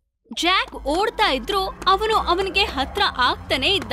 ಅವನಿಗೆ ತುಂಬಾ ಭಯ ಆಗಿತ್ತು. ಆದ್ರೆ ಅವನು ಹಾರ್ಪ್ನ ಗಟ್ಟಿಯಾಗಿ ಹಿಡಿದು ಆದಷ್ಟು ಬೇಗ ಓಡ್ಹೋದ. ಕಡೆಗೆ ಅವನು ಬಳ್ಳಿಯನ್ನ ತಲುಪಿದ. ಮತ್ತೆ ಅಲ್ಲಿಂದ ಕೆಳಗೆ ಬೇಗನೆ ಬರೋಕೆ ಶುರು ಮಾಡ್ದ. ಹಾರ್ಪ್ನ ಹೆಗಲಲ್ಲಿ ಇಟ್ಕೊಂಡು. ಅವನು ಕಿರಿಚ್ತಾ ಇಳೀತಾ ಇದ್ದ. ಬಳ್ಳಿ ಅಲ್ಲಾಡ್ತಾ ಇರೋದು ಗೊತ್ತಾಗ್ತಾ ಇತ್ತು. ಜಾಕ್ ತಾಯಿ ಅಲ್ಲೇ ಕೆಳಗಡೆ ಓಡಾಡ್ತಾ ಇದ್ಲು. ಅರ್ಧ ದಾರಿ ತಲುಪಿದ ನಂತರ ಅವನು ಅವ್ರಿಗೆ ಕೂಗಿ ಹೇಳ್ದ. ಬೇಗ ಬೇಗ ಅಮ್ಮ ಕೊಡ್ಲಿ ತಗೊಂಡ್ ಬನ್ನಿ. ಅವಳು ಹೋಗಿ ಎಷ್ಟು ಸಾಧ್ಯನೋ ಅಷ್ಟು ದೊಡ್ಡ ಕೊಡಲಿ ತಗೊಂಡ್ ಬಂದ್ಲು. ಜಾಕ್ ಕೆಳಗಡೆ ಬಂದ್ಬಿಟ್ಟ. ಹಾರ್ಪ್ನ ಅಮ್ಮನ ಕೈಗೆ ಕೊಟ್ಟು ಆ ಬಳ್ಳಿಯನ್ನ ತನ್ನ ಎಲ್ಲಾ ಶಕ್ತಿ ಬಳಸಿ ಕಡಿಯೋಕೆ ಶುರು ಮಾಡ್ದ. ಅಮ್ಮ ಅಮ್ಮ ದೂರ ನಿಂತ್ಕೊಳ್ಳಿ. ಬಳ್ಳಿ ಬೀಳೋಕೆ ಶುರುವಾಯ್ತು. ದೈತ್ಯ ಹತ್ರ ಬರ್ತಿದ್ ಹಾಗೆ ಅದು ಜಾಸ್ತಿ ಅಲ್ಲಾಡ್ತಾ ಇತ್ತು. ಈಗ ಜಾಕ್ ಉಳಿದ ಬಳ್ಳಿಯನ್ನ ಜೋರಾಗಿ ಹೊಡೆದ.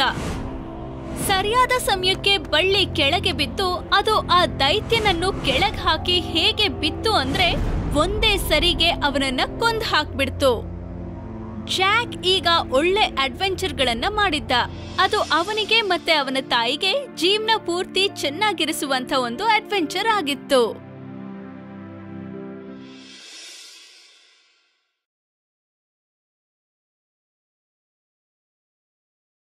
ಸಿಂಡ್ರೆಲ್ಲ.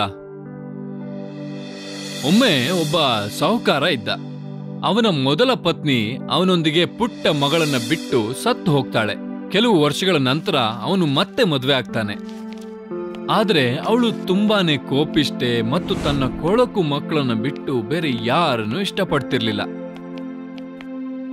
ಈ ಹುಡುಗಿಯರು ಸಹ ಅವನ ಮಗಳನ್ನ ಕಂಡ್ರೆ ಹೊಟ್ಟೆ ಕಿಚ್ಚು ಪಡ್ತಾ ಇದ್ರು. ಬೇಗನೆ ಅವರು ಮನೆ ಯಜಮಾನಿಗಳಾಗಿ ಹುಡುಗಿಯನ್ನ ಮನೆ ಕೆಲಸದವಳನ್ನಾಗಿ ಮಾಡ್ತಾರೆ. ಅವಳು ಮನೆಯನ್ನ ಒರೆಸಿ ಪಾತ್ರೆಗಳನ್ನ ತೊಳಿಬೇಕಾಗಿತ್ತು. ಅವಳು ಹಾಸಿಗೆಯನ್ನ ತಯಾರಿಸಬೇಕಾಗಿತ್ತು. ಮತ್ತೆ ಬೆಳಿಗ್ಗೆ ಬೇಗನೆ ಎದ್ದು ಎಲ್ಲವನ್ನ ಸ್ವಚ್ಛಗೊಳಿಸ್ಬೇಕಾಗಿತ್ತು. ಕೆಲವು ಸಾರಿ ಆ ಬಡ ಹುಡುಗಿ ಅಟ್ಟದ ಮೇಲೆ ಮಲಗ್ತಾ ಇದ್ಲು. ಅಲ್ಲಿ ಅವಳು ಹುಲ್ಲನ್ನು ಹಾಸ್ಕೊಂತ ಇದ್ಲು. ಚಳಿಗಾಲದಲ್ಲಿ ತುಂಬಾ ಚಳಿ ಆಗ್ತಾ ಇತ್ತು. ಯಾಕಂದ್ರೆ ಹಿಮ ಅವಳಿಗೆ ತಗಲ್ತಾ ಇತ್ತು. ಅದು ತುಂಬಾ ಕಷ್ಟದ ಸಮಯ ಆಗಿತ್ತು.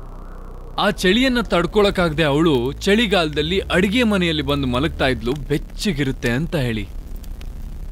ಈ ಕಾರಣಕ್ಕಾಗಿ ಮತ್ತೆ ಅವಳ ಬಟ್ಟೆ ಯಾವಾಗ್ಲೂ ಗಲೀಜಾಗಿರ್ತಾ ಇದ್ದ ಕಾರಣಕ್ಕಾಗಿ ಇಬ್ಬರು ಅಕ್ಕ ತಂಗಿಯರು ಅವಳನ್ನ ಸಿಂಡ್ರೆಲಾ ಅಂತ ಕರೀತಾ ಇದ್ರು.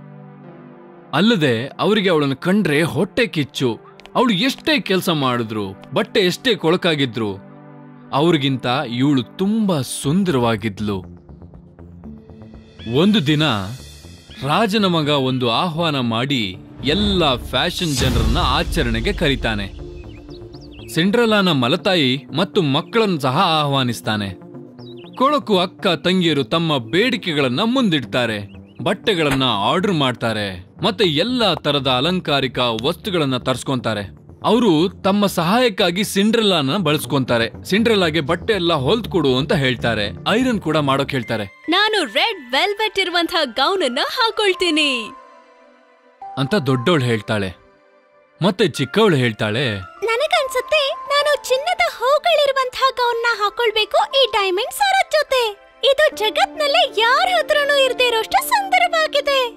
ಅವರ ವಿಗ್ಗನ ಮಾಡಿಸ್ಕೊಳ್ಳೋದಕ್ಕೆ ಆ ಊರಲ್ಲಿದ್ದ ಬೆಸ್ಟ್ ಹೇರ್ ಡ್ರೆಸ್ಸರ್ನ ಕರ್ಸ್ಕೊಂತಾರೆ. ಮತ್ತೆ ತಮ್ಮ ಬಟ್ಟೆಗಳನ್ನ ತಯಾರಿಸೋದಕ್ಕೆ ಬೆಸ್ಟ್ ಫ್ಯಾಷನ್ ಡಿಸೈನರ್ನ ಕರ್ಸ್ಕೊಂತಾರೆ. ಮತ್ತೆ ಅವರು ಸಿಟಿಯಿಂದ ಬ್ಯೂಟಿ ವಸ್ತುಗಳನ್ನ ತರ್ಸ್ಕೊಂತಾರೆ ಮುಖಕ್ಕೆ ಹಚ್ಕೊಳ್ಳೋದಕ್ಕೆ. ಸಿಂಡ್ರೆಲ್ಲ ಕೂದಲು ಬಾಚ್ತಾ ಇದ್ದಾಗ ಅವರಿಬ್ರು ಸೇರಿ ಆಚರಣೆ ಬಗ್ಗೆ ಅವಳಿಗೆ ಅಣಗ್ಸೋಕ್ ಶುರು ಮಾಡ್ತಾರೆ. ನಿನಗೆ ಹೋಗಕ್ ಇಷ್ಟ ಇಲ್ವಾ? ಹಾ ಕೇಳ್ತಾರೆ. ಓ ಆದ್ರೆ ಖಂಡಿತ ಹೋಗೋಕ್ಕಾಗಲ್ಲ. ಯಾಕಂದ್ರೆ ಎಲ್ಲರಿಗೂ ನಿನ್ ಬಟ್ಟೆ ಮೇಲಿರೋ ಗಲೀಜೆ ಇಷ್ಟ ಆಗ್ಬಿಡತ್ತೆ. ಸಿಂಡ್ರೆಲ್ಲ ಅಲ್ದೆ ಬೇರೆ ಯಾರೇ ಆಗಿದ್ರು ಕೂದಲನ್ನ ಕೆಟ್ಟದಾಗಿ ಬಾಚಿ ಹಾಳು ಮಾಡ್ತಾ ಇದ್ರು. ಆದ್ರೆ ಅವಳು ಬಹಳ ಒಳ್ಳೆಯ ಹುಡುಗಿಯಾಗಿರ್ತಾಳೆ. ಮತ್ತೆ ಅವರನ್ನ ಎಷ್ಟು ಸಾಧ್ಯವೋ ಅಷ್ಟು ಸುಂದರವಾಗಿ ಕಾಣುವಂತೆ ಮಾಡ್ತಾಳೆ. ಆ ದಿನ ಇಬ್ರು ಅಕ್ಕ ತಂಗಿಯರು ತಮ್ಮನ್ನ ತಾವು ಹೊಗಳುತ್ತಾ ಕನ್ನಡಿ ಮುಂದೆ ಗಂಟೆಗಟ್ಟಲೆ ತಮ್ಮ ಕೋಣೆಯಲ್ಲಿ ಕಾಲ ಕಳೀತಾರೆ. ಕಡೆಗೆ ಸಮಯ ಬಂದೇ ಬಿಡುತ್ತೆ. ಅವರಿಬ್ರು ಆ ಸಮಯಕ್ಕೆ ಕಾಯ್ತಾ ಇದ್ರು. ಮತ್ತೆ ಅವರು ರಥವನ್ನ ಹತ್ತಿ ಅರಮನೆ ಕಡೆಗೆ ಹೊರಟು ನಿಲ್ತಾರೆ. ಮತ್ತೆ ಸುಂದರವಾದ ಆ ಸಮಯದಲ್ಲಿ ಸಿಂಡ್ರೆಲ್ಲಾ ಅವರು ಕಣ್ಮರೆ ಆಗೋ ತನಕ ಹಾಗೇ ನೋಡ್ತಾ ಇರ್ತಾಳೆ. ಆಮೇಲೆ ಅವಳು ಒಲೆ ಪಕ್ಕದಲ್ಲಿ ಹೋಗ್ತಾಳೆ. ಒಂಟಿತನ ಮತ್ತು ದುಃಖದಿಂದ ಅಳೋಕ್ ಶುರು ಮಾಡ್ತಾಳೆ. ಇದ್ದಕ್ಕಿದ್ದ ಹಾಗೆ ಬಾಗಿಲು ಬಡ್ದಂತೆ ಕೇಳಿಸುತ್ತೆ. ವಿಚಿತ್ರವಾದ ಹೆಂಗಸು ಅಡಿಗೆ ಮನೆಗೆ ಬರ್ತಾಳೆ. ಅವಳ ಕಣ್ಣು ಹಸರಾಗಿತ್ತು ಮತ್ತೆ ರೆಕ್ಕೆ ಇತ್ತು ಮತ್ತೆ ಕೈಯಲ್ಲಿ ಒಂದು ಪುಟ್ಟ ಸ್ಟಿಕ್ ಇರುತ್ತೆ. ಅವಳು ಸಿಂಡ್ರಲಾ ಕೇಳ್ತಾಳೆ ಏನ್ ವಿಷಯ ಅಂತ? ನಾನು ನಾನು ಕೂಡ.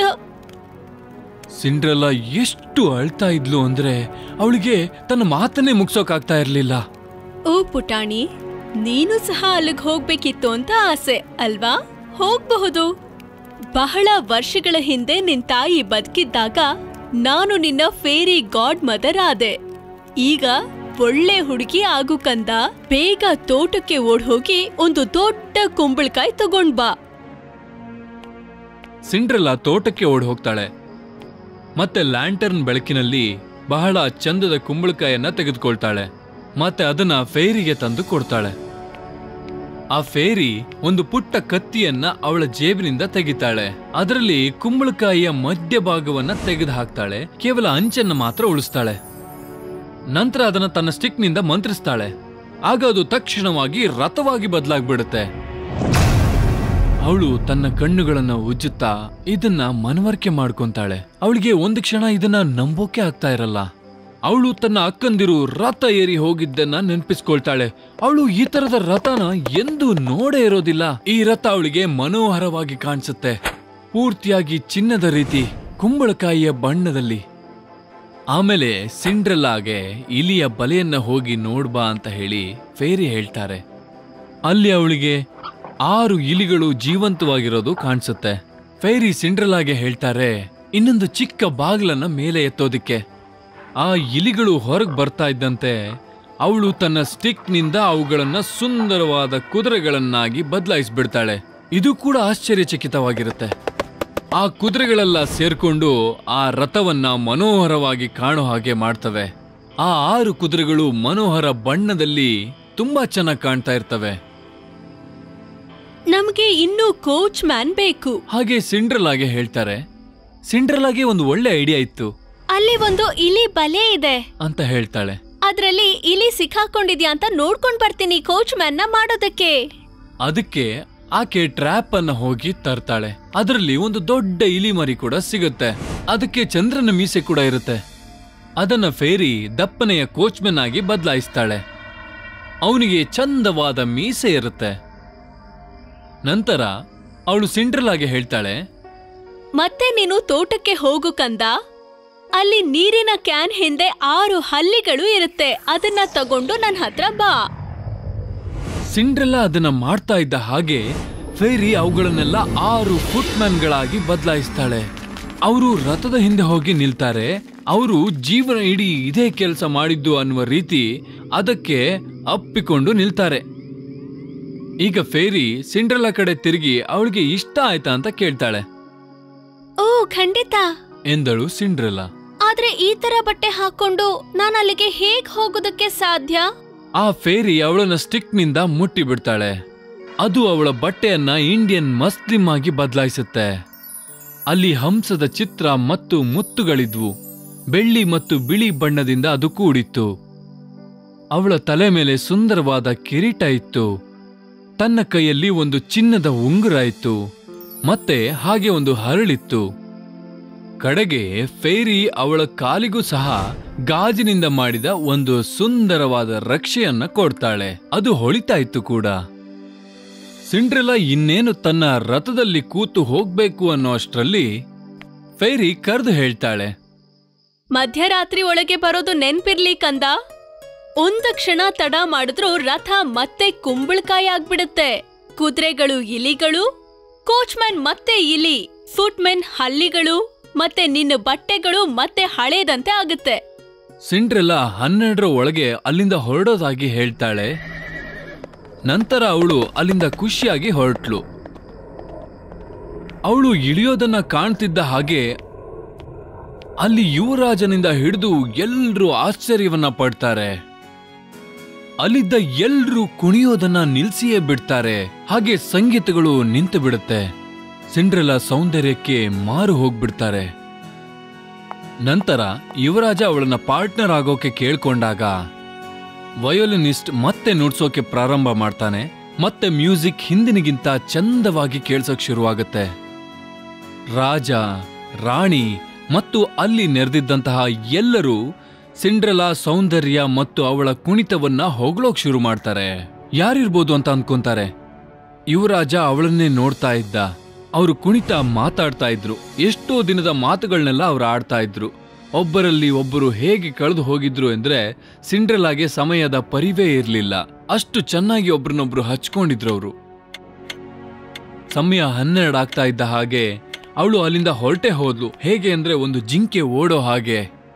ಯುವರಾಜ ಹಿಂದೆನೆ ಓಡ್ತಾನೆ, ಆದ್ರೆ ಅವಳನ್ನ ಹಿಡಿಯೋಕೆ ಆಗೋದಿಲ್ಲ ಅವನಿಗೆ. ಅವಳು ಮೆಟ್ಲನ್ನ ಇಳಿಯುವಾಗ ಒಂದು ಗಾಜಿನ ಶೂ ಬಿಚ್ಚಿ ಹೋಗ್ಬಿಡುತ್ತೆ. ಅದನ್ನ ಯುವರಾಜ ತೆಗೆದುಕೊಂಡು ಜೇಬಿನಲ್ಲಿ ಇಟ್ಕೊಂತಾನೆ. ಹೊರಗಡೆ ಗಾರ್ಡ್ಸ್ನ ಕೇಳ್ತಾನೆ, ಯುವರಾಣಿ ಹೋಗಿದ್ದು ಖಂಡಿತಾನಾ? ಅಂತ. ಯಾರೂ ಕಂಡಿಲ್ಲ ಅಂತ ಹೇಳ್ತಾರೆ, ಆದ್ರೆ ಒಂದು ಪುಟ್ಟ ಹುಡುಗಿ ಹೋದ್ಲು, ಅವಳು ಅಡಿಗೆ ಮಾಡೋ ಕೆಲಸದವಳ ತರ ಕಂಡ್ಲು ಅಂತ ಹೇಳ್ತಾರೆ. ಕೊಳಕು ಅಕ್ಕ ತಂಗಿಯರು ಮರಳಿ ಬಂದಾಗ, ಅವರು ಸಿಂಡ್ರಲಾಗೆ ಯುವರಾಜ ಮನಸೋತಿರೋದ್ರ ಬಗ್ಗೆ ಹೇಳ್ತಾರೆ. ಯುವರಾಜನ ಹೃದಯವನ್ನ ಒಂದು ಹುಡುಗಿ ಕದ್ದಿದ್ದಾಳೆ ಅಂತ ಹೇಳ್ತಾರೆ. ಆಕೆ ತಕ್ಷಣ ಮಾಯಾಗಿದ್ದನ್ನ ಯುವರಾಜ ಕಂಡು ತುಂಬಾ ದುಃಖಗೊಳ್ತಾನೆ ಅಂತ ಹೇಳ್ತಾರೆ. ಆ ದುಃಖದಲ್ಲಿರುವ ಯುವರಾಜನಿಗೆ ಸಿಕ್ಕಿದ್ದು ಆಕೆ ಒಂದು ಗ್ಲಾಸ್ ಶೂ ಅದನ್ನ ನೋಡ್ತಾ ಕಾಲ ಕಳೀತಾ ಇದ್ದ ಅಂತ. ಯುವರಾಜ ಆ ಶೂ ಅನ್ನ ಸಿಲ್ಕ್ ಕುಶನ್ ಮೇಲೆ ಇಡಬೇಕು ಅಂತ ಆದೇಶ ಮಾಡ್ತಾನೆ. ಮತ್ತೆ ಅದನ್ನ ಸಿಟಿಗೆ ತೆಗೆದುಕೊಂಡು ಹೊರಡ್ತಾನೆ. ಮತ್ತೆ ಸಂದೇಶವನ್ನು ಕಳಿಸ್ತಾನೆ ಅದು ಯಾರ ಕಾಲಿಗೆ ಹೊಂದುತ್ತೋ ಅವರನ್ನೇ ಮದುವೆ ಆಗೋದಾಗಿ ಹೇಳ್ತಾನೆ. ಆ ಶೂ ಎಲ್ಲರೂ ಹಾಕಬೇಕಾಗಿತ್ತು. ಪ್ರತಿಯೊಂದು ಆಗದ ಹುಡುಗಿಯಿಂದ ಹಿಡಿದು ಎಲ್ಲ ಯುವರಾಣಿಯರು ಹಾಕ್ಬೇಕಾಗಿತ್ತು. ಈಗ ಸರ್ದಿ ಆಗಿತ್ತು, ಆ ಇಬ್ಬರು ಕೊಳಕು ಹುಡುಗಿಯರದ್ದು. ರಾಯಲ್ ಮೆಸೆಂಜರ್ ಬರ್ತಾನೆ. ಅದನ್ನ ಅಕ್ಕನಿಗೆ ಟ್ರೈ ಮಾಡೋಕೆ ಕೊಡ್ಲಾಯ್ತು. ಆದ್ರೆ ಅವಳ ಕಾಲು ತುಂಬಾ ದೊಡ್ಡದಾಗಿತ್ತು. ಅವಳಿಗೆ ಯುವರಾಣಿ ಆಗ್ಬೇಕು ಅನ್ನೋ ಆಸೆ ತುಂಬಾ ಜಾಸ್ತಿ ಇತ್ತು. ಅಂದ್ರೆ ಅದನ್ನ ದುರಾಸೆ ಅಂತಾನು ಹೇಳ್ಬೋದಾಗಿತ್ತು. ಹಾಗಾಗಿ ಅವಳು ಕಾಲನ್ನ ಕತ್ತರಿಯಿಂದ ಕತ್ತರಿಸ್ಕೊಂಡು ಅದು ಒಳಗೆ ಸೇರುವಂತೆ ಮಾಡ್ತಾಳೆ. ಅದನ್ನ ರಾಯಲ್ ಮೆಸೆಂಜರ್ ನೋಡ್ತಾನೆ, ಅವನಿಗೆ ರಕ್ತ ಕಾಣಿಸುತ್ತೆ, ಅವಳನ್ನ ನಿರಾಕರಿಸಲಾಗುತ್ತೆ. ನಂತರ ಈಗ ತಂಗಿಯ ಸರದಿಯಾಗಿರುತ್ತೆ ಅವಳು ಟ್ರೈ ಮಾಡ್ತಾಳೆ. ಆದರೆ ಈ ಸಲ ಅವಳ ಹಿಮ್ಮಡಿ ಬಹಳ ದೊಡ್ಡದಾಗಿರುತ್ತೆ. ಅದನ್ನ ಅವಳು ಚಾಕುವಿನಿಂದ ಕತ್ತರಿಸ್ಕೊಳ್ತಾಳೆ. ಶೂ ಒಳಗೆ ಸೇರುವಷ್ಟು. ಆದರೆ ರಾಯಲ್ ಮೆಸೆಂಜರ್ಗೆ ಇಲ್ಲಿ ಏನೋ ತಪ್ಪಾಗಿದೆ ಅಂತ ಗೊತ್ತಾಗುತ್ತೆ. ಅಲ್ಲಿ ನಿಜ ಬಣ್ಣ ಗೊತ್ತಾಗುತ್ತೆ ಅವಳನ್ನ ಡಿಸ್ಕ್ವಾಲಿಫೈ ಮಾಡ್ತಾನೆ. ಈಗ ಸಿಂಡ್ರಲ್ಲ ನಗ್ತಾ ಹೇಳ್ತಾಳೆ ದಯವಿಟ್ಟು ನಾನು ಅದನ್ನ ಟ್ರೈ ಮಾಡ್ತೀನಿ. ಅಕ್ಕ ತಂಗಿ ಬೇಡ ಬೇಡ ಅಂತ ಹೇಳಿದ್ರು ಮೆಸೆಂಜರ್ ಕೆಳಗೆ ಕೂತು ಅವಳಿಗೆ ಶೂ ಅನ್ನ ಹಾಕ್ತಾನೆ. ಅದು ಅವಳಿಗಾಗೆ ಮಾಡದಂತೆ ಶೂ ಫಿಟ್ ಆಗುತ್ತೆ. ನಂತರ ಸಿಂಡ್ರೆಲ್ಲ ತನ್ನ ಜೇಬಿನಿಂದ ಮತ್ತೊಂದು ಶೂ ಅನ್ನ ತೆಗೆದ್ಲು, ಅದನ್ನ ಮತ್ತೊಂದು ಕಾಲಿಗೆ ಹಾಕೊಳ್ತಾಳೆ. ಆಗ ಫೇರಿ ಗಾಡ್ ಮದರ್ ಅಲ್ಲಿ ಕಾಣಿಸ್ಕೊಂತಾಳೆ. ಮತ್ತೆ ಅವಳು ಆಕೆಯ ಬಟ್ಟೆಯ ರೂಪ ಸ್ವರೂಪವನ್ನೇ ಬದಲಾಯಿಸಿ ತುಂಬಾ ಚೆನ್ನಾಗಿ ಕಾಣುವಂತೆ ಮಾಡ್ತಾಳೆ. ಸಿಂಡ್ರೆಲಾಗೆ ನಂಬೋಕೆ ಆಗ್ತಿರಲ್ಲ. ಆಗ ಅಕ್ಕ ತಂಗಿಗೆ ಗೊತ್ತಾಗುತ್ತೆ, ಅರಮನೆಯಲ್ಲಿ ನಾವು ನೋಡಿದ್ದು ಇವಳನ್ನೇ ಇರ್ಬೇಕಲ್ವಾ ಅಂತ. ಅವ್ರಿಗೆ ತಾವು ಮಾಡಿದ ತಪ್ಪಿನ ಅರಿವಾಗುತ್ತೆ. ಅವರು ಆಕೆಯ ಕಾಲಿಗೆ ಬಿದ್ದು ತಪ್ಪಿಗೆ ಕ್ಷಮೆಯನ್ನ ಕೇಳ್ಕೊಂತಾರೆ. ಸಿಂಡ್ರೆಲ್ಲ ಅವರಿಬ್ಬರಿಗೆ ಮುತ್ಕೊಟ್ಟು ಹೇಳ್ತಾಳೆ, ನಾ ನಿಮ್ಮನ್ನ ಕ್ಷಮಿಸ್ತೀನಿ ಅಂತ. ಆದ್ರೆ ನಾವು ಅಕ್ಕ ತಂಗಿಯರ್ ತರ ಇರಬೇಕು ಅಂತ ಷರತ್ ಹಾಕ್ತಾಳೆ. ಅವರಿಬ್ರು ಕೂಡ ನಾವು ಹಾಗೆ ಇರ್ತೀವಿ ಅಂತ ಮಾತನ್ನ ಕೊಡ್ತಾರೆ. ಅವಳನ್ನ ಈಗ ಯುವರಾಜನ ಬಳಿ ಕರೆತರಲಾಯಿತು. ಆಕೆ ತುಂಬಾ ಸುಂದರವಾಗಿ ಕಾಣ್ತಾ ಇರ್ತಾಳೆ. ಸ್ವಲ್ಪ ದಿನದ ನಂತರ ಅವರಿಬ್ರಿಗೆ ಮದುವೆ ಆಗತ್ತೆ. ಸಿಂಡ್ರೆಲ್ಲಾ ಅವಳ ಸೌಂದರ್ಯದ ಜೊತೆಗೆ ಒಳ್ಳೆ ಮನಸ್ಸನ್ನು ಕೂಡ ಇಟ್ಕೊಂಡಿರ್ತಾಳೆ. ತನ್ನ ಅಕ್ಕ ತಂಗಿಯಂದಿರಿಗೂ ಕೂಡ ಮದುವೆ ಆಗುತ್ತೆ. ಈಗ ಅವರು ಹಿಂದಿನಿಗಿಂತ ಜಾಸ್ತಿ ಅವಳನ್ನ ಪ್ರೀತಿಸ್ತಾ ಇದ್ರು. ಎಲ್ಲರೂ ಖುಷಿಯಾಗಿರ್ತಾರೆ. ಹಾಗೂ ಸಿಂಡ್ರೆಲಾ ಮತ್ತು ಯುವರಾಜ ಸಂತೋಷದ ಜೀವನವನ್ನ ಕಳಿತಾರೆ.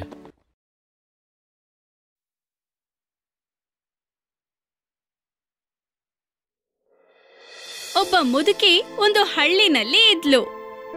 ಅವಳಿಗೆ ಒಬ್ಬ ಸುಂದರವಾದ ಮಗಳಿದ್ಲು. ಅವಳಿಗೆ ಚೆರಿ ಅಂದ್ರೆ ಇಷ್ಟ ಇತ್ತು ಅಂದ್ರೆ ಅವಳು ಬೇರೆ ಏನು ತಿನ್ನೋಕ್ ಇಷ್ಟನೇ ಪಡ್ತಾ ಇರ್ಲಿಲ್ಲ. ಮಧ್ಯಾಹ್ನ ಆಗ್ಲಿ, ರಾತ್ರಿ ಆಗ್ಲಿ ಬರೀ ಚೆರಿನೇ ತಿನ್ನೋಕ್ ಇಷ್ಟ ಪಡ್ತಾ ಇದ್ಲು. ಅದು ಅಲ್ಲದೆ ಜನರೆಲ್ಲ ಅವಳನ್ನ ಚೆರಿ ಅಂತಾನೆ ಕರಿತಾ ಇದ್ರು. ಒಬ್ಳು ಬುದ್ಧಿವಂತೆ ಚೆರಿಯ ಮನೆ ಪಕ್ಕನೇ ಇರ್ತಾ ಇದ್ಲು. ಬುದ್ಧಿವಂತಿಕೆ ಮಾತ್ರ ಅಲ್ಲ ಮಾಟ ಮಂತ್ರ ಮಾಡೋದ್ರಲ್ಲೂ ಅವಳು ತುಂಬಾನೇ ನಿಪುಣೆ ಆಗಿದ್ಲು. ಮತ್ತೆ ಅವಳ ತೋಟದಲ್ಲಿ ಎಷ್ಟೊಂದು ಚೆರಿ ಮರಗಳು ಇದ್ವು. ಚೆರಿ ಬೇಲಿಯನ್ನ ದಾಟಿ ಅದ್ರೊಳಗೆ ಹೋಗ್ತಿದ್ಲು, ಯಾಕಂದ್ರೆ ತಡಿಯೋಕ್ ಆಗ್ತಿರ್ಲಿಲ್ಲ. ಚೆರಿಗಳನ್ನ ಅವಳು ತಗೊಳ್ತಾ ಇದ್ಲು. ಇದರಿಂದಾಗಿ ಮಾಟಗಾತಿಗೆ ಕೋಪ ಬರ್ತಾ ಇತ್ತು. ಅದು ಅಲ್ಲದೆ ಚೆರಿ ನೋಡಕ್ಕೆ ಸುಂದರವಾಗಿದ್ಲು. ಅವಳಿಗೆ ಉತ್ತನೆಯ ಹೊಳೆಯುವ ಕೂದ್ಲಿತ್ತು ಮತ್ತೆ ಕಣ್ಣುಗಳಲ್ಲೂ ಹೊಳಪಿತ್ತು. ಅವಳು ಎಷ್ಟು ಸುಂದರವಾಗಿದ್ಲು ಅಂದ್ರೆ ಮಾಟಗಾತಿಗೆ ಕೋಪ ತಡೆಯೋಕಾಗ್ತಿರ್ಲಿಲ್ಲ. ಒಂದಿನ ಪ್ರತಿನಿತ್ಯದಂತೆ ಚೆರಿ ಚೆರಿಗಳನ್ನ ತಗೊಳ್ತಾ ಇದ್ಲು. ಮಾಟಗಾತಿ ಅದನ್ನ ನೋಡಿ ಕೋಪನ ತಡ್ಕೊಳಕ್ಕಾಗ್ಲಿಲ್ಲ. ಅವಳಿಗೆ ಒಂದು ಶಾಪನ ಕೊಟ್ಲು ಮತ್ತೆ ಅವಳನ್ನ ಕಪ್ಪೆಯನ್ನಾಗಿ ಮಾಡ್ಬಿಟ್ಲು. ಪಾಪ ಚೆರಿ. ಆ ರಾಜ್ಯದ ರಾಜನಿಗೆ ಮೂರು ಮಕ್ಕಳಿದ್ರು ರಾಜನಿಗೆ ತುಂಬಾನೇ ವಯಸ್ಸಾಗ್ಬಿಟ್ಟಿತ್ತು. ರಾಜ ತನ್ನ ಮಕ್ಕಳಿಗೆ ಹೇಳ್ದ, ನಾನ್ ನಿಮ್ಗೆಲ್ಲ ಒಂದು ಪರೀಕ್ಷೆ ಹೊಡ್ತೀನಿ ಯಾರದನ್ನ ಬೇಗ ಮುಗಿಸ್ತಾರೋ ಅವರು ಮುಂದಿನ ರಾಜ ಆಗ್ತಾರೆ. ಮೊದಲನೇದಾಗಿ ನನಗೊಂದು ವೆಲ್ವೆಟ್ ಬಟ್ಟೆ ಬೇಕು. ಅದು ನನ್ನ ಈ ಉಂಗುರದೊಳಗೆ ಹೋಗೋ ಹಾಗಿರ್ಬೇಕು. ಮತ್ತೆ ಕೂಡ್ಲೆ ಮೂರು ಜನ ಹುಡ್ಕಾಡೋದಕ್ಕೆ ಶುರು ಮಾಡಿದ್ರು ಆ ರೀತಿ ಒಂದು ವೆಲ್ವೆಟ್ ಅನ್ನ ಹಿರಿಯ ಮಕ್ಕಳಿಬ್ರು ಮಾರುಕಟ್ಟೆಯಿಂದ ಎಷ್ಟೊಂದು ವೆಲ್ವೆಟ್ ಬಟ್ಟೆಗಳನ್ನ ತರಿಸಿದ್ರು. ಆದ್ರೆ ಚಿಕ್ಕ ಮಗ ಯೋಚಿಸ್ತಾ ನಡೆದಾಡ್ತಾನೆ ಇದ್ದ. ಮಾರುಕಟ್ಟೆಯಿಂದ ತರುವಂತ ವೆಲ್ವೆಟ್ ಬಟ್ಟೆ ಅಪ್ಪನ ಉಂಗುರದೊಳಗೆ ಹೇಗ್ ಹೋಗೋಕ್ ಸಾಧ್ಯ? ಅವನು ದೂರದ ತನಕ ನಡ್ದ. ಮತ್ತೆ ಯೋಚಿಸ್ತಾನೆ ಇದ್ದ. ಏನು ಸಿಗ್ಲೇ ಇಲ್ಲ. ಅವನ್ಗೆ ತುಂಬಾ ಸುಸ್ತಾಗ್ಬಿಟ್ಟಿತ್ತು. ಮತ್ತೆ ಅವನು ವಿಶ್ರಾಂತಿ ಕೂತ್ಕೊಂಡ. ಅಲ್ಲಿ ನದಿಯಿಂದ ಇದ್ದಕ್ಕಿದ್ದ ಹಾಗೆ ಒಂದು ಕಪ್ಪೆ ಎಗರ್ಕೊಂಡ್ ಬಂದು ಅವನನ್ನ ಕೇಳ್ತು.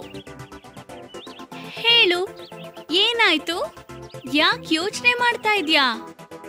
ಅವಳ ದನಿ ಎಷ್ಟ್ ಚೆನ್ನಾಗಿತ್ತು. ಅದನ್ನ ಕೇಳಿ. ಅವನ್ ಹೇಳ್ದ, ನೀನ್ ನನಗ್ ಹೇಗ್ ಸಹಾಯ ಮಾಡ್ತ್ಯಾ? ಆದ್ರೆ ನನ್ನ ಹತ್ರ ಏನು ಅಂತ ಹೇಳಿ. ಯಾಕೆ ಯೋಚನೆ ಮಾಡ್ತಾ ಇದ್ದೀರಾ? ಯುವರಾಜ ಅವಳಿಗೆ ಕಥೆನ ಹೇಳ್ದ. ಆ ಕಥೆನ ಕೇಳಿ ಆ ಕಪ್ಪೆ ನದಿಯೊಳಗೆ ಎಗರ್ತು. ಅವಳು ಆ ಒಂದು ಚಿಕ್ಕ ಬಟ್ಟೆನ ತಗೊಂಬಂದು ಅವನಿಗೆ ಹೇಳಿದ್ಲು. ಈ ಬಟ್ಟೆನ ತಗೊಳ್ಳಿ. ಇದು ನಿಮ್ಗೆ ಸಹಾಯ ಮಾಡುತ್ತೆ. ಏನು ಇಲ್ದೇ ಇರೋದಕ್ಕಿಂತ ಇದೇ ಬೆಟರ್ ಅಂತ ಅನ್ಕೊಂಡು ಯುವರಾಜ ಅರಮನೆಗೆ ಹೊರಟ. ಅವನು ಅರಮನೆ ಒಳಗೆ ಹೋಗ್ತಿದ್ದ ಹಾಗೆ ಆ ಬಟ್ಟೆ ದೊಡ್ಡದಾಗ್ತಾನೆ ಹೋಗ್ತಾ ಇತ್ತು. ರಾಜಂಗೆ ಖುಷಿ ಆಯ್ತು. ಮೂರು ಜನ ವೆಲ್ವೆಟ್ ಬಟ್ಟೆನ ತಂದಿದ್ದಾರೆ ಅಂತ. ಅವನು ಅವ್ರಿಗೆ ಉಂಗುರವನ್ನ ಕೊಟ್ಟ. ದೊಡ್ಡ ಮಗ ಅದ್ರೊಳಗೆ ಬಟ್ಟೆಯನ್ನ ಹಾಕಿದ್ರೆ ಒಂದು ಭಾಗ ಮಾತ್ರ ಅದ್ರೊಳಗಡೆ ಹೋಗಿದ್ದು. ಇಬ್ರು ಸೋತ್ ಹೋದ್ರು, ಈಗ ಚಿಕ್ಕ ಮಗ ಬಟ್ಟೆನ ಅವ್ರಿಗೆ ಕೊಟ್ಟ. ಎಲ್ಲರಿಗೂ ಆಶ್ಚರ್ಯ ಆಯ್ತು. ಇಷ್ಟು ಸ್ವಚ್ಛವಾಗಿರುವ, ಇಷ್ಟು ಮೃದುವಾದ ಬಟ್ಟೆಯನ್ನ ನೋಡಿ. ಬಟ್ಟೆ ತುಂಬಾ ಸುಲಭವಾಗಿ ಉಂಗುರದೊಳಗಡೆ ಹೋಯ್ತು. ನಾನು ಒಂದ್ ಟಾಸ್ಕ್ ಮುಗಿಸಿದ್ದೀನಿ.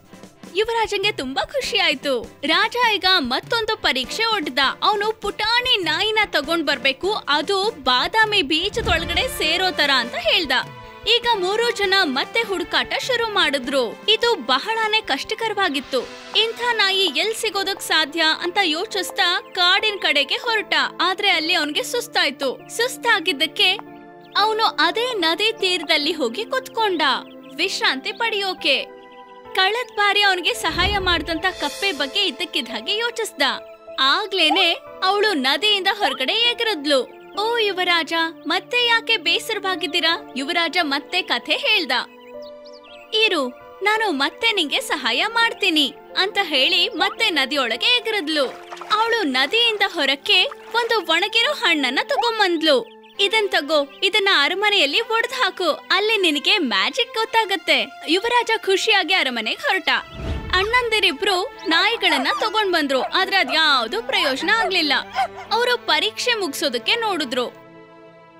ಕೆಲವ್ರಿಗೆ ದೊಡ್ಡ ತಲೆ ಇತ್ತು, ಕೆಲವ್ರಿಗೆ ದೊಡ್ಡ ಕಾಲಿತ್ತು, ಕೆಲವೊಂದಕ್ಕೆ ದೊಡ್ಡ ಬಾಲ ಇತ್ತು. ಇಬ್ಬರಿಗೂ ಸೋತ್ವಿ ಅಂತ ಬೇಜಾರಾಯ್ತು. ಈಗ ಚಿಕ್ಕ ಮಗ ಆ ಒಂದು ಶೆಲ್ ಅನ್ನ ಒಡೆ ಹಾಕ್ದ. ನೋಡಿದ್ರೆ ಅಲ್ಲಿ ಒಳಗಡೆ ಒಂದು ಮುದ್ದಾದ ನಾಯಿ ಮರಿ ಇತ್ತು. ಯುವರಾಜ ಬಾದಾಮಿ ಬೀಜದೊಳಗಡೆ ಅದನ್ನ ಇಟ್ಟು ನೋಡಿದ್ರು. ಅದು ಆರಾಮಾಗಿ ಅದ್ರೊಳಗಡೆ ಸೇರ್ತಾ ಇತ್ತು. ಯುವರಾಜಂಗೆ ತುಂಬಾ ಖುಷಿ ಆಯ್ತು. ರಾಜಂಗೂ ಖುಷಿ ಆಯ್ತು. ಈಗ ಕಡೆದಾದ ಮೂರನೇ ಪರೀಕ್ಷೆಯ ಸಮಯ ಆಗಿತ್ತು. ಯಾರು ಸುಂದರವಾದ ಹುಡುಗಿನ ಮದುವೆ ಆಗ್ತಾರೋ ಅವರೇ ಮುಂದಿನ ರಾಜ ಆಗ್ತಾರೆ. ಅದ್ಭುತ. ಇದು ತುಂಬಾನೇ ಸುಲಭ. ದೊಡ್ಡ ಮಗ ಎಲ್ಲಾ ಕಡೆ ಸುಂದರವಾದ ಹುಡುಗಿನ ಹುಡುಕೊಂಡು ಹೊರಟ. ಅವ್ರಿಗೆ ಎಷ್ಟೋ ಜನ ಸುಂದರವಾದ ಹುಡುಗಿರ್ ಗೊತ್ತಿದ್ರು. ಅವ್ರಿಗೆ ಇದು ತುಂಬಾ ಸುಲಭ ಆಗಿತ್ತು. ಚಿಕ್ಕ ಯುವರಾಜನ್ಗೆ ಬೇಜಾರಾಗಿತ್ತು. ಈಗ ನಂಗೆ ಯಾರ್ ಸಹಾಯ ಮಾಡ್ತಾರೆ? ಆ ಪುಟ್ಟ ಕಪ್ಪೇನು ಸಹಾಯ ಮಾಡೋಕ್ಕಾಗಲ್ಲ. ಅವಳು ನದಿ ಒಳಗಡೆ ಎಗರಿ ಸುಂದರವಾದ ಹುಡುಗಿನ ಕರ್ಕೊಂಡ್ ಆಗಲ್ಲ ಅವನು ಯೋಚನೆಗಳಲ್ಲಿ ಮುಳುಗಿ ಮತ್ತೆ ಅದೇ ನದಿ ತೀರದಲ್ಲಿ ಬಂದು ಕೂತ್ಕೊಂಡ. ಕಪ್ಪೆ ಮತ್ತೆ ಅವನ ಹತ್ರ ಬಂತು. ನಿಂಗೇನಾಯ್ತು ಮತ್ತೆ? ಮತ್ತೆ ಯಾಕೆ ಯೋಚಿಸ್ತಿದ್ಯಾ? ನೀನ್ ತುಂಬಾ ಹತ್ತಿರೋ ತರ ಕಾಣುತ್ತೆ. ಯಾಕೆ ಅಳ್ತಾ ಇದ್ದೆ ನೀನು? ಯುವರಾಜ ಅವಳಿಗೆ ಎಲ್ಲಾ ಕಥೆನ ಹೇಳ್ದ. ಮತ್ತೆ ಕಪ್ಪೆ ಹೇಳಿದ್ಲು, ಯೋಚನೆ ಮಾಡ್ಬೇಡ, ಅರಮನೆ ಕಡೆಗ್ ಹೋಗು. ನೀನು ಅರಮನೆಗ್ ಹತ್ರ ಇದ್ದಾಗ ಹಿಂದೆ ನೋಡು, ಆದ್ರೆ ನಗ್ಬೇಡ, ದಯವಿಟ್ಟು. ಯುವರಾಜಂಗೆ ಈ ಸಲ ಕಪ್ಪೆ ನಂಬೋಕ್ ಆಗ್ತಿರ್ಲಿಲ್ಲ. ಅವನ್ಗೆ ತುಂಬಾನೇ ಬೇಜಾರಿತ್ತು. ಅವನು ಅರಮನೆ ಕಡೆಗೆ ಹೋಗೋಕ್ ಶುರು ಮಾಡ್ದ. ಅವನಿನ್ನೇನು ಅರಮನೆ ಬಾಗ್ಲು ತಲುಪ್ತಾ ಇದ್ದಾಗ ಹಿಂದಿನಿಂದ ದನಿ ಕೇಳಿಸ್ತು. ಅವನು ಹಿಂದೆ ತಿರುಗಿ ನೋಡ್ದ ಅವನಿಗೆ ಆಶ್ಚರ್ಯ ಕಾದಿತ್ತು. ಅಲ್ಲಿ ಆರು ಇಲಿಗಳು ಕುಂಬಳಕಾಯಿಂದ ಮಾಡಿದಂತ ರಥನ ಎಳಿತಾ ಇತ್ತು. ಅದರಲ್ಲಿ ದೊಡ್ಡ ಕಪ್ಪೆ ಸಾರಥಿ ಆಗಿತ್ತು. ಒಳಗಡೆ ಸುಂದರವಾದ ಕುರ್ಚಿಯಲ್ಲಿ ಅವನ ನದಿ ತೀರದ ಗೆಳತಿ ಇದ್ಲು. ಆದ್ರೆ ಇದು ತುಂಬಾ ವಿಚಿತ್ರವಾಗಿತ್ತು. ಆದ್ರೆ ಯುವರಾಜ ನಗಲಿಲ್ಲ. ಅವನಿಗೆ ಏನು ಅರ್ಥನೇ ಆಗ್ಲಿಲ್ಲ. ಇದು ಯಾವ ತರದ ರಥ? ಇಲ್ಲಿ ಏನಾಗ್ತಾ ಇದೆ? ನನಗೇನೂ ಅರ್ಥ ಆಗ್ತಿಲ್ಲ. ಇದೇನಿದು ಕುಂಬಳಕಾಯಿಂದ ಮಾಡಿರೋ ರಥ? ಆದ್ರೆ ಸ್ವಲ್ಪ ಹೊತ್ತಿನಲ್ಲಿ ಅವನು ಬೇರೆ ರಥನೇ ನೋಡ್ದ. ಅದನ್ನ ಎಳಿತಾ ಇದ್ದಿದ್ದು ಎರಡು ಕಪ್ಪು ಕುದುರೆಗಳು, ಮತ್ತೆ ಅದರ ಸಾರ್ಥಿ ಆಗಿದ್ದ ಒಬ್ಬ ಸೈನಿಕ. ಒಳಗಡೆ ಒಬ್ಬ ಸುಂದರವಾದ ಹುಡುಗಿ ಕೂತಿದ್ಲು. ಮೊದಲನೇ ಸಲಕ್ಕೆ ಯುವರಾಜ ಕಂಡು ಹಿಡ್ದ, ಅವಳು ನದಿ ತೀರದಲ್ಲಿ ಸಿಕ್ಕಂತಹ ಕಪ್ಪೆ ಅಂತ. ಮೂರು ಜನ ಈಗ ಅರಮನೆ ಒಳಗಡೆ ಬಂದ್ರು. ದೊಡ್ಡ ಮಗ ಇಬ್ರು ಸುಂದರವಾದ ಹುಡುಗಿಯರ್ನ ಕರ್ಕೊಂಡ್ ಬಂದಿದ್ದ. ಆದ್ರೆ ಚೆರಿ ಒಳಗಡೆ ಬರ್ತಿದ್ದ ಹಾಗೆ ಎಲ್ಲರೂ ಆಶ್ಚರ್ಯಚಕಿತರಾಗಿ ನಿಂತ್ಬಿಟ್ರು. ಮತ್ತೆ ಅವಳನ್ನ ರಾಣಿಯನ್ನಾಗಿ ಮಾಡಲಾಯ್ತು. ಯಾಕಂದ್ರೆ ಅವಳು ಅಷ್ಟು ಸುಂದರವಾಗಿದ್ಲು. ಹೀಗೆ ನನ್ನ ಪುಟ್ಟ ಗೆಳೆಯರೇ, ಯುವರಾಜ ಎಲ್ಲ ಪರೀಕ್ಷೆ ಗೆದ್ದಿದ್ರಿಂದ ಚಿಕ್ಕ ಯುವರಾಜನ್ನೇ ರಾಜನಾಗಿ ಮಾಡಲಾಯ್ತು.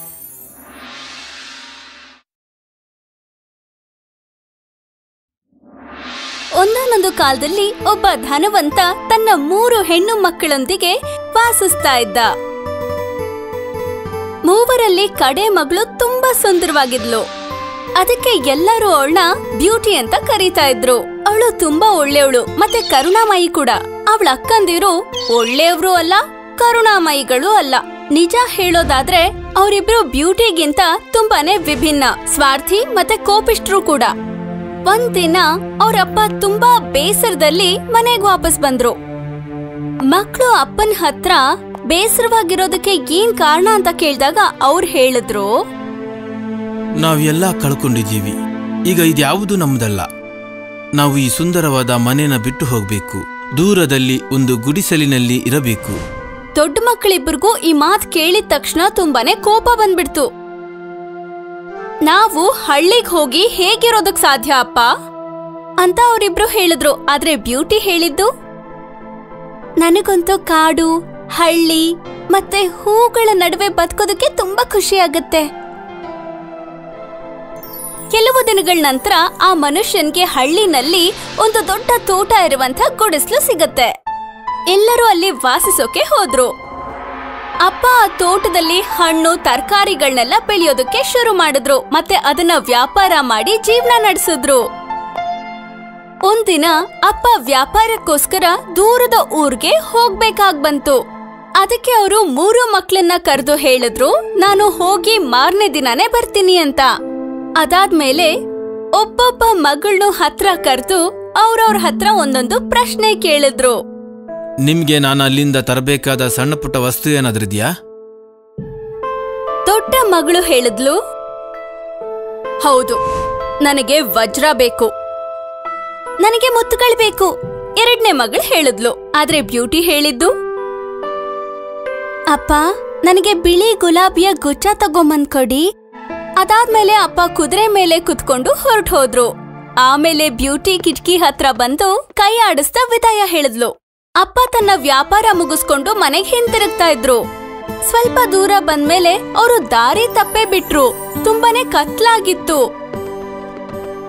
ದಾರಿ ಹುಡುಕ್ತಾ ಅವರು ಕಾಡಿಗೆ ಬಂದು ತಲುಪಿದ್ರು.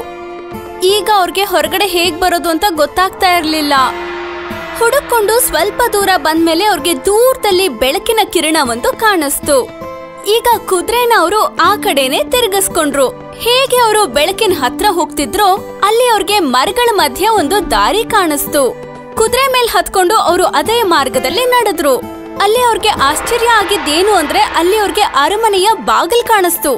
ಅರಮನೆಯ ಬಾಗ್ಲು ತೆಗೆದಿತ್ತು. ಆದ್ರೆ ಅಲ್ಲಿ ಯಾರೂ ಕಾಣಿಸ್ತಾ ಇರ್ಲಿಲ್ಲ.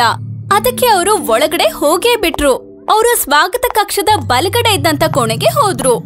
ಅಲ್ಲಿ ಕಾವು ಕಾಯಿಸ್ಕೊಳ್ಳೋದಕ್ಕೆ ಬೆಂಕಿ ಉರಿತಾ ಇತ್ತು. ಅಲ್ಲಿ ನೋಡಿದ್ರೆ ಮೇಜಿನ ಮೇಲೆ ಒಬ್ಬ ಮನುಷ್ಯನ್ಗೆ ಊಟ ಇಟ್ಟಿದ್ರು. ಅವನ್ಗೆ ತುಂಬಾನೇ ಹಸುವಾಗಿತ್ತು, ಸುಸ್ತಾಗಿತ್ತು. ಅದಕ್ಕೆ ಅವನ್ ಯೋಚನೆ ಮಾಡ್ದ, ಇಲ್ಲಿ ಯಾರು ಇಲ್ಲ ಅಂದ್ಮೇಲೆ, ಈ ಸ್ವಾದಿಷ್ಟ ಊಟ ನಾನೇ ತಿಂದ್ಬಿಡೋಣ ಅಂತ. ಆಮೇಲೆ ಕುದುರೆನ ಅದರ ಜಾಗಕ್ಕೆ ಹೋಗಿ ಬಿಡೋಣ ಅಂತ. ಅವನು ಆರಾಮಾಗಿ ತಿನ್ನೋಕ್ ಶುರು ಮಾಡ್ದ. ತಿಂದಾದ್ಮೇಲೆ ಅವನಿಗೆ ನಿದ್ದೆ ಬರೋಕ್ ಶುರುವಾಯ್ತು. ಅವನು ಹಾಲ್ನ ದಾಟಿದ ಕೂಡ್ಲೆ ಅವನಿಗೆ ಸುಂದರವಾಗಿರೋ ಒಂದು ಬೆಡ್ರೂಮ್ ಕಾಣಿಸ್ತು. ಅವನು ಹಾಸಿಗೆ ಮೇಲೆ ಮಲಗೆ ಬಿಟ್ಟ. ಬೆಳಗಾಗೋವರೆಗೂ ಆರಾಮಾಗಿ ನಿದ್ರೆ ಮಾಡ್ದ. ಅವನು ಎಚ್ಚರ ಆದಾಗ ಅವನ್ ಬಟ್ಟೆ ಮಾಯ ಆಗಿತ್ತು. ಆದ್ರೆ ಹೊಲ್ದಿರೋ ಒಂದು ಬಟ್ಟೆ ಒಂದು ಕುರ್ಚಿ ಮೇಲೆ ಇಟ್ಟಿತ್ತು. ಅವನು ಹೊಸ ಬಟ್ಟೆ ಹಾಕೊಂಡು ತನ್ನ ಕುದುರೆನ ನೋಡೋದಕ್ಕೆ ಹೊರಟು ನಿಂತ. ಕುದುರೆ ನೋಡಕ್ ಹೋಗುವಾಗ ಅವನಿಗೆ ದಾರಿನಲ್ಲಿ ಸುಂದರವಾದ ಬಿಳಿ ಗುಲಾಬಿಯ ತೋಟ ಕಾಣಿಸ್ತು. ಬಿಳಿ ಗುಲಾಬಿ ಮೇಲೆ ಅವನ ಕಣ್ಣು ಬೀಳ್ತಿದ್ದ ಹಾಗೆ ಅವನು ಬ್ಯೂಟಿ ಕೇಳಿದ್ದನ್ನ ನೆನಪಿಸ್ಕೊಂಡ. ಈಗ ಅವನು ತನ್ನ ಚಿಕ್ಕ ಮಗಳು ಬ್ಯೂಟಿಗೋಸ್ಕರ ಬಿಳಿ ಗುಲಾಬಿಯ ಗುಚ್ಛ ಮಾಡ್ಬೇಕು ಅಂತ ಯೋಚನೆ ಮಾಡ್ದ. ಅವನು ಬಿಳಿ ಗುಲಾಬಿಯ ತೋಟದ ಕಡೆ ಹೊರಟು ನಿಂತ. ಇನ್ನೇನು ಒಂದು ಗುಲಾಬಿ ಕಿತ್ತಿದ್ದ ಆಗ್ಲೇ ಅವನಿಗೆ ಭಯಾನಕ ದನಿಯೊಂದು ಕೇಳಿಸ್ತು. ಹಿಂದೆ ತಿರುಗ್ ನೋಡಿದ್ರೆ ಅಲ್ಲಿ ವಿಶಾಲವಾದ ರಾಕ್ಷಸ ನಿಂತಿದ್ದ. ಆ ಭಯಾನಕ ರಾಕ್ಷಸ ದೊಡ್ಡ ದನಿಯಲ್ಲಿ ಹೇಳ್ದ. ಹೇ ದುಷ್ಟ, ಯಾರ ಊಟ ತಿಂದೆ ನೀನು? ಯಾರ ಹಾಸಿಗೆ ಮೇಲೆ ಮಲಗಿದ್ದೆ? ನೀನು ಯಾರ ಬಟ್ಟೆ ಹಾಕ್ಕೊಂಡಿದ್ದೀಯಾ? ನಂದು ನಂದು ನಂದು. ನಾನು ಸುಮ್ಮನಿದ್ದ ಮಾತ್ರಕ್ಕೆ ಈಗ ನನ್ನ ಗುಲಾಬಿ ಕಿತ್ಕೊಳ್ತಾ ಇದೀಯಾ? ದಯವಿಟ್ಟು ನನ್ನ ಕೊಲ್ಲಬೇಡ ಅವನು ಬೇಡ್ಕೊಂಡ. ನೀನು ಉಳಿಯಬೇಕಾದ್ರೆ ಒಂದು ಷರತ್ತು ಇದೆ. ಅಂತ ರಾಕ್ಷಸ ಹೇಳ್ದ. ನೀನು ಒಂದು ತಿಂಗಳು ಬಿಟ್ಟು ಇಲ್ಲಿಗೆ ಬರಬೇಕು. ನೀನು ಮನೆಗೆ ಹಿಂದಿರುಗಿದಾಗ ಮೊದಲು ಏನು ಸಿಗುತ್ತೋ ಅದನ್ನ ತಗೊಂಡು ಬರಬೇಕು. ಬ್ಯೂಟಿ ತಂದೆಗೆ ಇದನ್ನ ಒಪ್ಕೊಳ್ಳದೆ ಬೇರೆ ದಾರಿನೇ ಇರಲಿಲ್ಲ. ಅವನು ಕುದುರೆ ಹತ್ಕೊಂಡು ತನ್ನ ಸವಾರಿನ ಮಾಡುವಾಗ ಅವನು ರಾಕ್ಷಸನಿಗೆ ಕೊಟ್ಟ ಮಾತಿನ ಬಗ್ಗೆ ಯೋಚನೆ ಮಾಡ್ತಿದ್ದ. ಅವನಿಗೆ ನೆನಪಾಯ್ತು, ಅವನು ಮನೆಯಿಂದ ಹೊರಟಾಗ ಹೇಗೆ ಬ್ಯೂಟಿ ಕಿಟಕಿ ಹತ್ರ ನಿಂತ್ಕೊಂಡು ತನಗೆ ವಿದಾಯ ಕೊಟ್ಲು ಅಂತ. ಒಂದು ಭಯಾನಕ ವಿಚಾರದಿಂದ ಅವನು ನಡೆದ್ಬಿಟ್ಟ ಮನೆಗೆ ಹೋಗ್ತಿದ್ದ ಹಾಗೆ ಮೊದಲು ಬ್ಯೂಟಿ ನನ್ನ ಸ್ವಾಗತಿಸಿದರೆ? ಇಲ್ಲಿ ಬ್ಯೂಟಿ ತನ್ನ ಕೋಣೆಯ ಕಿಟಕಿ ಹತ್ರ ಕುತ್ಕೊಂಡು ಅಪ್ಪ ವಾಪಸ್ ಬರೋದನ್ನೇ ಕಾಯ್ತಾ ಇದ್ಲು. ಆಗ್ಲೇ ಅವಳಿಗೆ ದೂರದಲ್ಲಿ ಕುದುರೆ ಮೇಲೆ ಒಂದು ಆಕೃತಿ ಸವಾರಿ ಮಾಡ್ತಿರೋದು ಕಂಡು ಬಂತು. ಆಗ್ಲೇ ಅವಳು ತೋಟದತ್ತ ಓಡ್ ಹೋದ್ಲು. ಹೌದು ಅದು ಅವರ ಅಪ್ಪನೇ. ಅವರು ವಾಪಸ್ ಬರ್ತಾ ಇದ್ರು. ಆದ್ರೆ ಬ್ಯೂಟಿಗೆ ತನ್ನ ತಂದೆಗೆ ಆದ ಘಟನೆ ಬಗ್ಗೆ ಗೊತ್ತೇ ಇರ್ಲಿಲ್ಲ. ಅವರು ತುಂಬಾ ಸುಸ್ತಾಗಿದ್ರು ಮತ್ತೆ ದುಃಖಿತರಾಗಿದ್ರು. ಅಪ್ಪ, ನಿಮಗೆ ನನ್ನ ನೋಡಿ ಖುಷಿ ಆಗಿಲ್ವಾ? ಅವರು ತನ್ನ ಚಿಕ್ಕ ಮಗಳನ್ನ ತಪ್ಕೊಂಡು ಅಳೋಕ್ ಶುರು ಮಾಡಿದ್ರು. ಅವರು ಗುಡಿಸಲ್ಗ್ ಹೋದಾಗ ಅಪ್ಪ ಅವರು ರಾಕ್ಷಸನಿಗೆ ಕೊಟ್ಟ ಮಾತಿನ ಬಗ್ಗೆ ತನ್ನ ಮಗಳಿಗೆ ಹೇಳಿದ್ರು. ಆದ್ರೆ ಅದು ಏನೇ ಆಗ್ಲಿ, ನೀನ್ ನನ್ ಜೊತೆ ಬರಬಾರ್ದು ಬ್ಯೂಟಿ. ಅಂತ ಹೇಳಿದ್ರು. ಆದ್ರೆ ಬ್ಯೂಟಿ ಹಠದಿಂದ ಹೇಳಿದ್ಲು, ಒಂದು ಸಲ ಮಾತ್ ಕೊಟ್ಟ ಮೇಲೆ ಆ ಮಾತನ್ನ ಉಳಿಸ್ಕೊಳ್ಳೇಬೇಕು. ಕಡೆಗೆ ಅಪ್ಪ ಅವಳ ಮಾತ್ಗೆ ಒಪ್ಕೊಂಡು, ಅವಳನ್ನ ಈ ತಿಂಗಳ ಕೊನೆನಲ್ಲಿ ರಾಕ್ಷಸನ್ ಮನೆಗೆ ಕರ್ಕೊಂಡು ಹೋಗ್ತೀನಿ ಅಂತ ಹೇಳ್ತಾರೆ.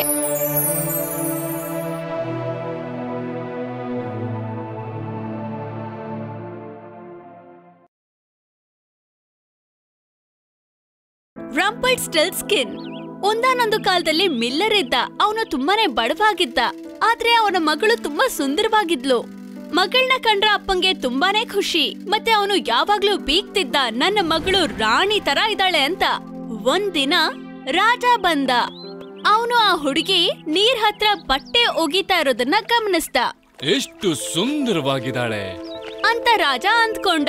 ಮತ್ತೆ ಜೋರಾಗಿ ಹೇಳ್ದ ನಿನ್ನ ಹೆಸರು ಏನು? ಹುಡುಗಿ ಉತ್ತರಿಸೋಕೆ ಮುಂಚೆ ಅವಳ ಅಪ್ಪ ಉತ್ತರ ಕೊಟ್ಟ.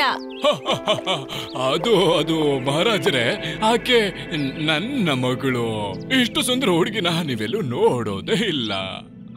ರಾಜ ತುಂಬಾನೇ ಕಾತರದಿಂದ ಕೆಳಗಡೆನೆ ನೋಡ್ತಾ ಇದ್ದ ಅವನ ಕುದುರೆ ಮೇಲೆ ಕೂತು. ನಿಜವಾಗ್ಲು ಆಕೆ ತುಂಬಾ ಸುಂದರವಾಗಿದ್ದಾಳೆ. ಅಂತ ಹೇಳ್ದ. ಮಿಲ್ಲರ್ಗೆ ಈಗ ತುಂಬಾನೇ ಖುಷಿ ಆಯ್ತು. ನಿಜ ಅದು ನಿಜ.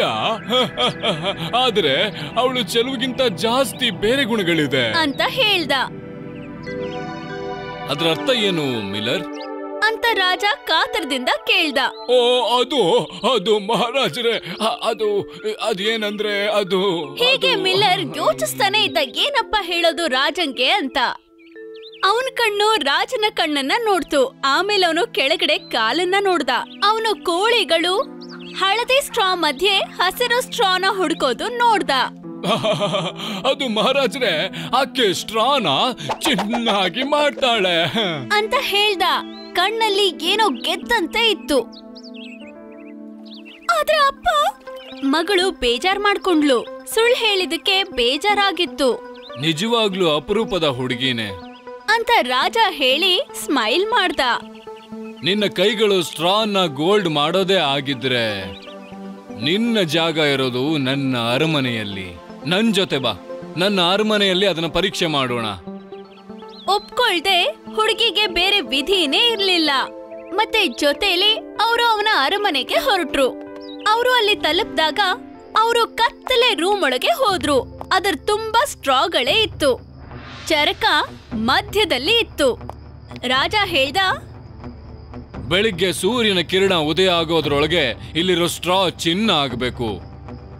ಅದು ಹಾಗೆ ಆಗದೆ ಇದ್ರೆ ನಿಮ್ಮಪ್ಪ ಎಲ್ಲಾದ್ರೂ ಸುಳ್ಳು ಹೇಳಿದ್ರೆ ಆಗ ನೀನು ಖಂಡಿತ ಸಾಯ್ತೀಯ. ಹುಡುಗಿಗೆ ಈಗ ಬಾಗ್ಲು ಜೋರಾಗಿ ಹಾಕಿದ್ದು ಕೇಳಿಸ್ತು. ಅವಳು ಹೆದರ್ಕೊಂಡು ಅಳೋದಕ್ಕೆ ಶುರು ಮಾಡಿದ್ಲು. ಆಮೇಲೆ ಅವಳು ಎದುರುಗಡೆ ಕುಳ್ಳಗಿರೋ ಮನುಷ್ಯ ನಿಂತಿರೋದು ನೋಡಿದ್ಲು. ಏನು ವಿಷಯ? ಅಂತ ಕೇಳ್ದ. ಬೇಜಾರಾಗ್ತಾ ಇದೆ ಅಂತ ಅತ್ಲು. ರಾಜ ನನಗೆ ಹೇಳಿದ್ರು ಇದನ್ನೆಲ್ಲ ಚರಕದಲ್ಲಿ ಬೆಳಗ್ಗೆ ಅಷ್ಟರಲ್ಲಿ ಚಿನ್ನ ಮಾಡ್ಬೇಕು. ಆದ್ರೆ ಹೇಗ್ ಮಾಡೋದು ಅಂತ ನನಗೆ ಗೊತ್ತಿಲ್ಲ. ನಾನು ಆ ಕೆಲಸ ಮಾಡಿದ್ರೆ ನನಗೇನ್ ಕೊಡ್ತೀಯ ನೀನು? ಅಂತ ಪುಟ್ಟ ಮನುಷ್ಯ ಕೇಳ್ದ. ನನ್ ಕತ್ತಲ್ಲಿರೋ ಲಾಕೆಟ್ ಅಂತ ಹೇಳಿದ್ಲು. ಪುಟ್ಟ ಮನುಷ್ಯ ಲಾಕೆಟ್ನ ತಗೊಂಡು ಚರಕದ ಹತ್ರ ಕುತ್ಕೊಂಡು ಸ್ವಲ್ಪ ಹೊತ್ತಿನಲ್ಲೇನೆ ಅಲ್ಲಿದ್ದಂತ ಎಲ್ಲಾ ಸ್ಟ್ರಾಗಳನ್ನ ಚಿನ್ನದ ತೆಳ್ಳನೆಯ ದಾರಗಳಾಗಿ ಬದಲಾಯಿಸ್ಬಿಟ್ಟಿದ್ದ. ಸೂರ್ಯೋದಯ ಆಗ್ತಿದ್ದ ಹಾಗೇನೆ ರಾಜ ಬಂದ ಚಿಲ್ಕಾನ ತೆಗ್ದ.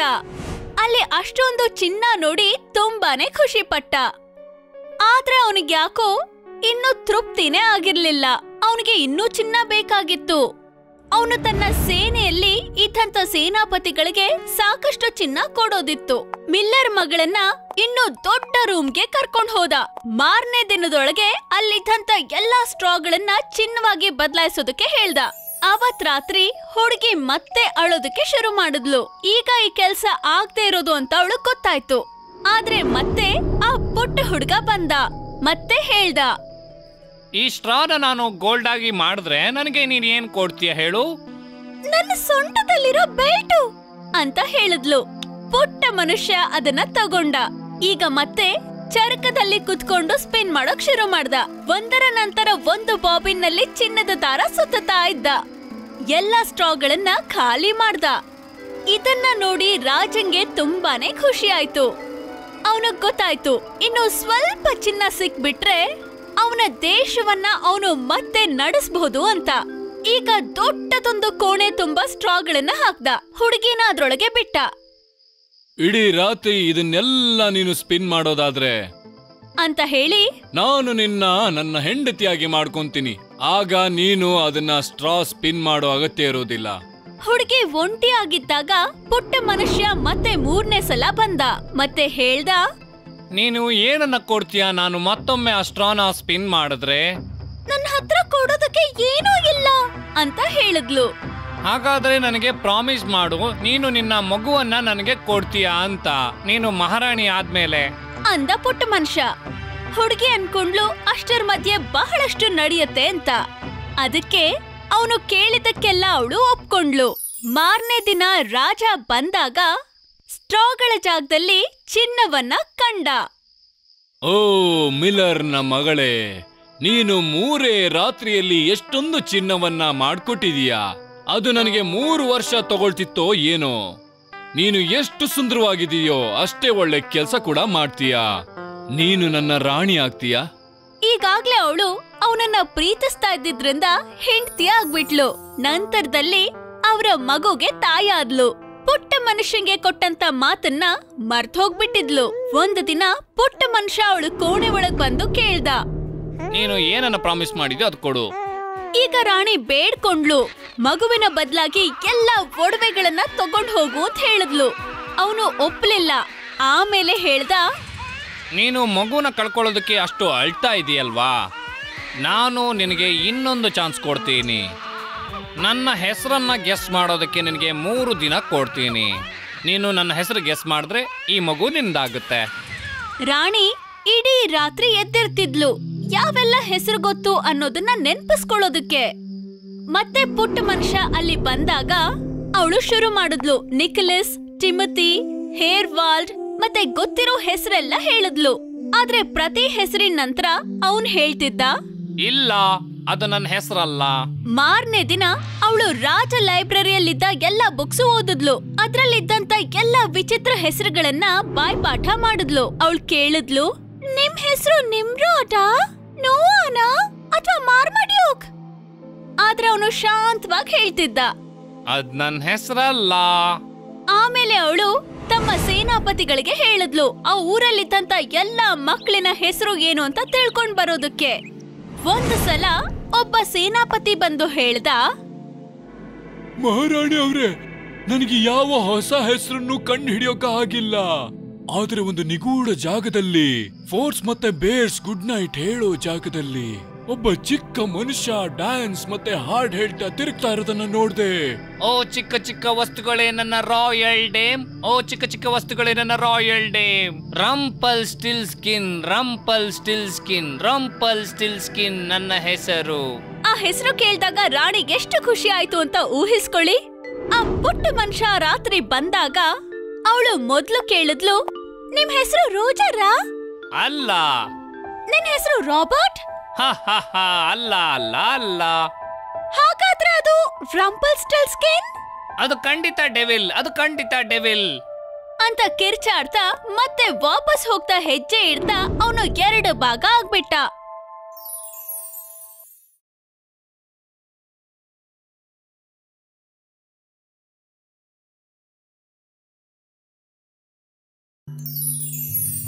ತಿಂಗಳ ಕೊನೆ ದಿನ ಬಂದೇ ಬಿಡ್ತು. ಅಪ್ಪ ಮತ್ತೆ ಮಗಳು ಕಾಡಿನ ಕಡೆಗೆ ನಡೆದೆ ಬಿಡ್ತಾರೆ.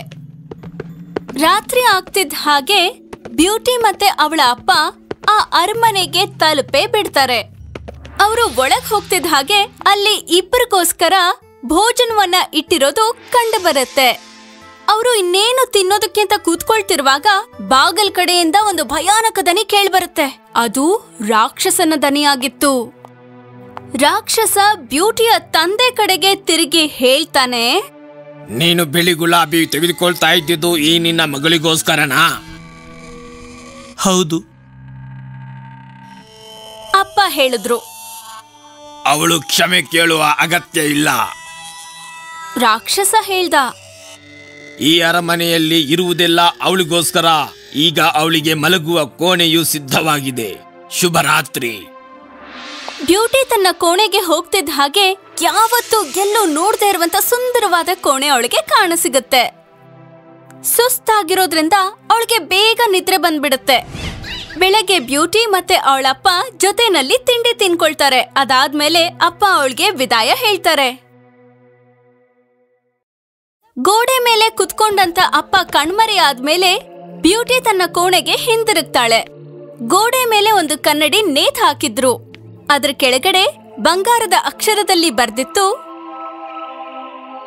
ಪ್ರೀತಿಯ ಬ್ಯೂಟಿ, ನಿನ್ನ ಕಣ್ಣೀರನ್ನ ಒರೆಸ್ಕೋ. ಈ ಕಣ್ಣೀರಿಗೆ ಏನೂ ಅರ್ಥ ಇಲ್ಲ. ನೀನ್ ಯೋಚನೆ ಮಾಡಬೇಡ. ಈ ಕನ್ನಡಿ ಮುಂದೆ ನಿಂತ್ಕೊಂಡು ನೀನ್ ಏನೇ ಬೇಡ್ಕೊಂಡ್ರು ಅದು ಈಡೇರುತ್ತೆ.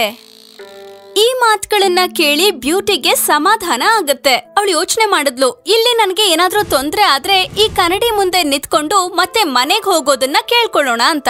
ಬ್ಯೂಟಿಯ ಒಂದೊಂದು ದಿನಾನು ಒಂದೊಂದು ವರ್ಷದ ಹಾಗೆ ಕಳೀತಾ ಇತ್ತು. ಆದ್ರೆ ರಾಕ್ಷಸ ಅವಳ ಎಲ್ಲಾ ತೊಂದರೆಗಳನ್ನ ಸರಿ ಮಾಡ್ತಿದ್ದ. ಕೆಲವೊಮ್ಮೆ ಪುಸ್ತಕ ಓದ್ತಿದ್ಲು, ಕೆಲವೊಮ್ಮೆ ಪೇಂಟ್ ಮಾಡ್ತಿದ್ಲು. ಕೆಲವೊಮ್ಮೆ ತೋಟದಲ್ಲಿ ಆಡೋಕ್ ಹೋಗ್ತಿದ್ಲು. ಕೆಲವೊಂದ್ಸಲ ಸುಂದರವಾದ ಹೂಗಳನ್ನ ಕಿತ್ಕೊಂಡ್ ಬರ್ತಿದ್ಲು. ಆದ್ರೆ ಪ್ರತಿ ಸಂಜೆ ಊಟ ಮಾಡುವಾಗ ಒಂದೇ ದನಿ ಬಾಗಲ್ ಕಡೆಯಿಂದ ಬರ್ತಾ ಇತ್ತು. ಒಂದು ಗಂಭೀರ ದನಿ ಅವಳನ್ನ ಕೇಳ್ತಿತ್ತು ನಾನು ಒಳಗ್ ಬರ್ಬೋದಾ? ಮತ್ತೆ ಪ್ರತಿ ಸಂಜೆ ಬೇಸರದಲ್ಲಿದ್ದ ಬ್ಯೂಟಿ ಉತ್ತರ ಕೊಡ್ತಿದ್ಲು? ಸರಿ ರಾಕ್ಷಸ ಅವ್ರೆ.